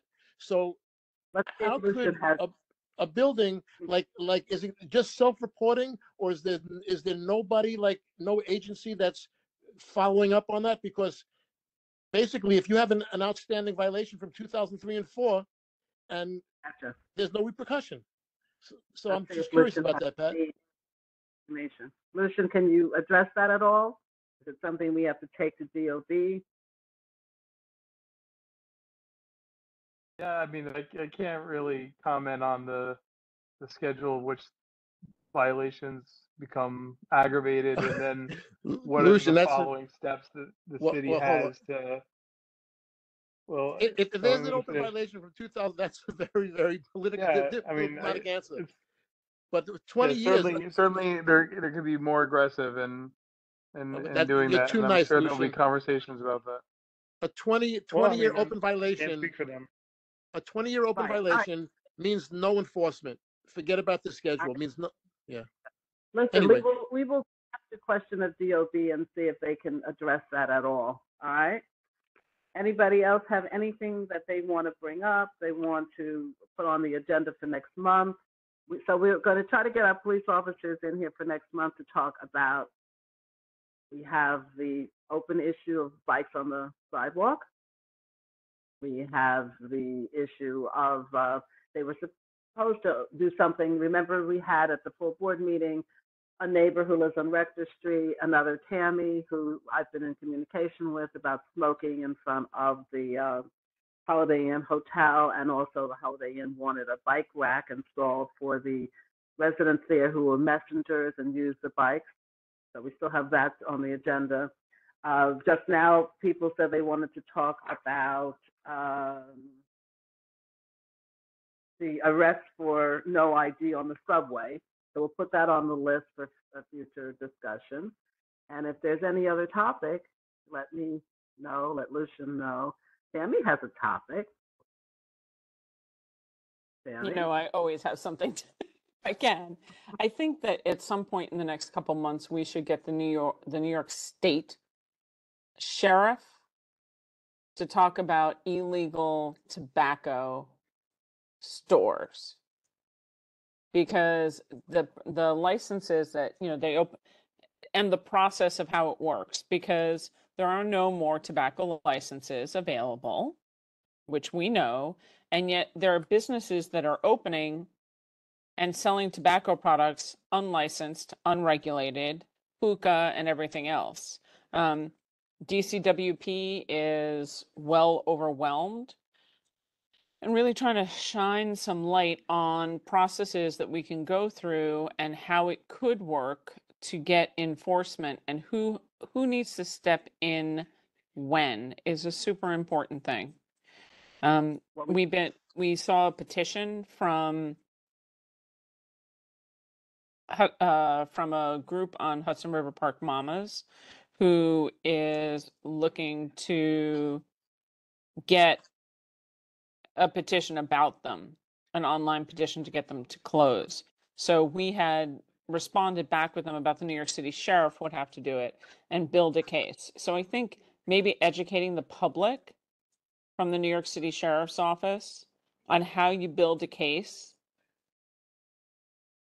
how, you know, I, last time we had, uh, I forgot whether it was Officer, Officer Ford or Nick Aradano here. They told us that they refer to the New York State Sheriff's Department to go in and confiscate illegal goods. So yeah, we can Yeah, so to them and let's let's stop the you know sort of back and forthness of it. Let's get the sheriff's departments in. Let's have a nice finite conversation. Let's make a plan. Let's share it with the other community boards. Um, and you know that would be great Uh, okay, uh, Mimi, and then uh, did you talk about queue up which is tomorrow at exec and hopefully everybody will come no, what was the queue up? queue up I um, I can I can share their their uh, blueprint. It's for open restaurants, and it's uh it's pretty cool. It includes bathrooms. It includes many many many many things. We're going to discuss it. Um, it was shared out through exec. We'll share. it. We'll discuss it again tomorrow, and hopefully um, move forward to resolution on that. Mimi is smiling. All right, so everyone heard that about the bathroom. Anything else, Tammy? Uh, I will tell you that there was a discussion tonight. I was at the Hudson River Park Trust Advisory Council. They are doing a letter, or we, so I'm part of that, about getting cargo bikes and e-bikes off of the greenway and asking for 9A to have a dedicated lane for them taken out of the traffic lanes on the west side of 9A. We're not discussing it here tonight. I'm just reporting that. It doesn't, and it only is during a certain section of the Hudson River Park Trust area, the bike path and streets uptown, where they have significantly limited room and very wide highway. So, Um, I'll- Betty had her, some of that at her transportation committee, that the cargo bikes are too wide for the bike lane. So two Well, bikes could- might pass one then- another. the state DOT is redoing the bikeway. They're changing the bollards. So they're going to be 48 inches wide. The cargo bikes go 36 to 54, depending on what they are. But either way, um, there was lots of discussion about how enforcement could happen and how, like, with a uh, to get people to follow the rules, not only are people supposed to be wearing vests and you know have the name of the restaurant and things like that, but maybe it's a point of the restaurant needs to have like the cars will when you go through a toll like an E-ZPass maybe each e-bike that works on delivery should have a transponder so when they blow the traffic light Not a bad idea. right so those are kinds of conversations that enforcement um, since we don't have any uh, currently really robust uh, it could be discussed in here or in transpo. But i don't think it belongs in transportation because transportation doesn't do enforcement. That's nypd So it may end up here. I mean, Betty and I have talked about this bike, the bike issue is basically going to come be here. So with the cops. Um, anything Thank else, you. Tammy? Yeah, Maybe it's getting late, guys. It's nine thirty-eight. Mimi? Uh, so speaking of enforcement, um,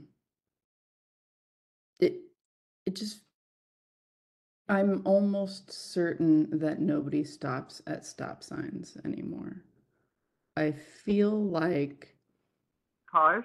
it's worse now. Yeah, cars. I mean, like bikes don't stop at stop signs, which is annoying to me, and I, you know, how I feel about that already, but I, yeah, just like walking down, like coming from Fulton all the way down um to essentially like the Staten Island ferry, like nobody stops at a light. At a, not at a light, at a stop sign. I feel like our stop signs just don't do anything. Uh, I, yeah, like if I'm just walking and they don't even seem used to thinking about stopping at stop signs. So it feels really dangerous as a pedestrian. They don't come to full stops a lot of times, but that's Yeah, something and- that you can, And not even almost a full stop. Like they couldn't come to a full stop if they needed to. rolling stop, yeah. Um, Mhm. that's something to pick up with our officer next month. Okay, so put that on your list to ask about next month and complain about. Okay. Bill? So, hi, um, just an agenda item to consider if it's too crowded next month, the following month, but to start thinking about adding, uh, quality of life for senior issues in this community. I'd like to start bringing that up and, and, uh, I can bring an item in and then flesh that out a little more. Okay, yeah, uh, you know, um, give us a topic. We'll, we'll discuss amongst ourselves. Bring a topic, okay? And we'll see if we need to get, um, someone in to help with that discussion. Okay. Um, I also have on my list as we were having that very long meeting with about the borough-based jail. Uh, what I just wrote down, what is happening in the other boroughs about, I mean, maybe this is something Tammy can answer or Lucian can answer. What's happening in the other boroughs with their potential sites for their jails? Everyone except Staten Island.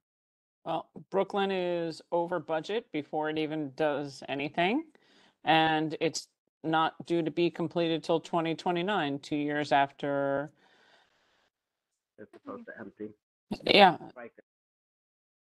And So what about Bronx and Queens? those sites are a bit different because uh, the Bronx, I believe, was an empty build up site. I don't remember Queens, quite frankly. Um, I just know that we are most closely aligned with Brooklyn in terms of space, size, lo- siting, and things like that. And yeah, over budget and two years behind before they even get going. So where do where does that leave Manhattan?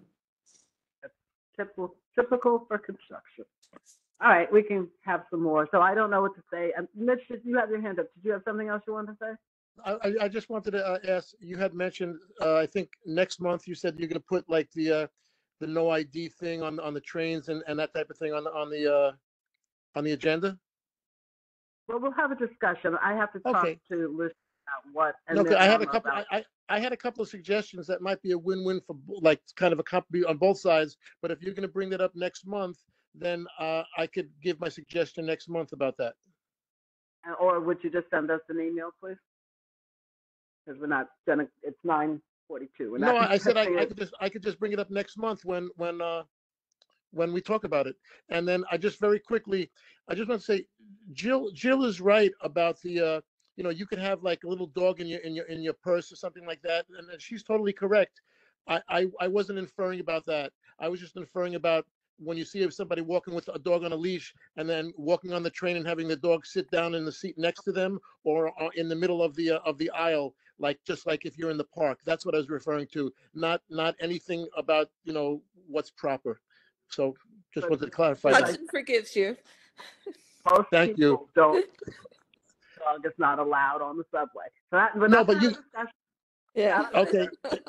Yeah, you know, you can't, you can't bring a dog in, in like in like a little bag, like on the airplanes, things like that. It's, it's okay on the subway. I wasn't referring to anything like that, so I don't want to get any dog lovers mad at me. I'm referring to like the totally inconsiderate people that think that they're walking their dog in the park. Okay. Please share the video, Lucian, that I sent you. It's so cute. Bring This meeting closed. And if there isn't anything else that anyone wants to bring up, we're gonna close the meeting. We can stop, I stop the recording, Lucian. I thank everyone as always.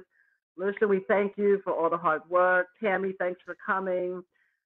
I guess you will let us know if we hear anything back from Lauren or Jeff or the mayor. Or uh, is there something else you think we should do? Should we write a reso to the mayor that we are hmm. really disappointed that he has not respected the wishes of the community? I think So- that's a good idea. I actually, if you're willing to go down that road, I think it's it's simple and sweet, and I think we absolutely do one because not only that, but we we're waiting. There was a meeting with all the electeds.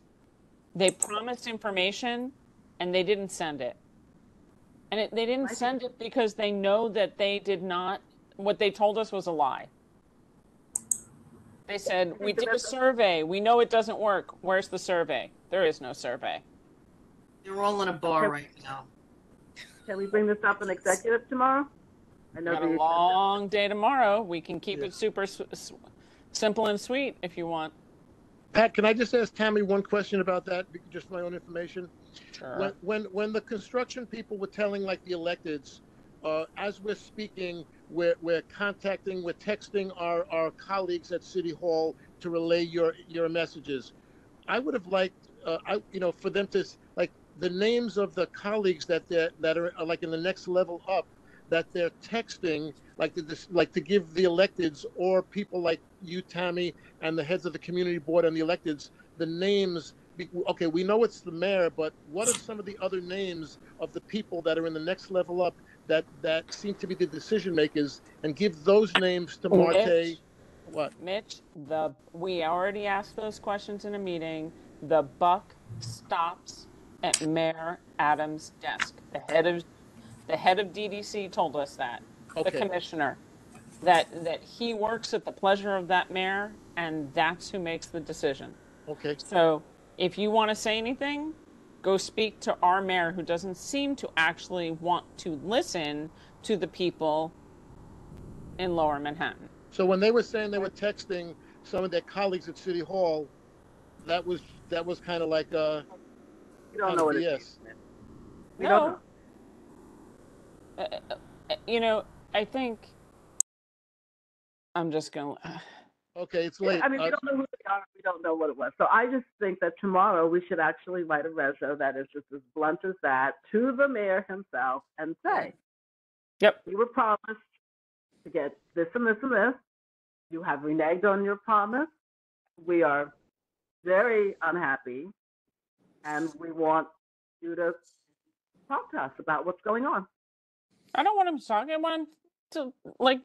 Do, we asked three simple things: do not, you know, do not demo that building. Do the RFP for adaptive reuse and prove to us that it can't be done, because we know it can be. You're already quorum. late. They're already late and over budget. All right. You have quorum. Can we Pat, if you want to, if you want to, I mean, it's that simple of a resolution. Stop demolition. Mm-hmm. All right. I mean, hey, I, I would, promise, I would honor say your that, promise to meet with the community before anything further is done, Yeah. right? They made a promise. and, and you, and use Marte's and, and Kavanagh's and Grace Lee's name at, you know, in the resolution also. I think we need to call it quits tonight. Tomorrow fine. is my transition back to Queens. We- can- can- Thank you. I know Good what night, I'll be talking about at Borough Board tomorrow. World peace. I didn't get the Um, link for, Andrew didn't send me a link for tomorrow for Borough Board. All right. Chase him down. If you have it. uh, Everybody hung in there tonight.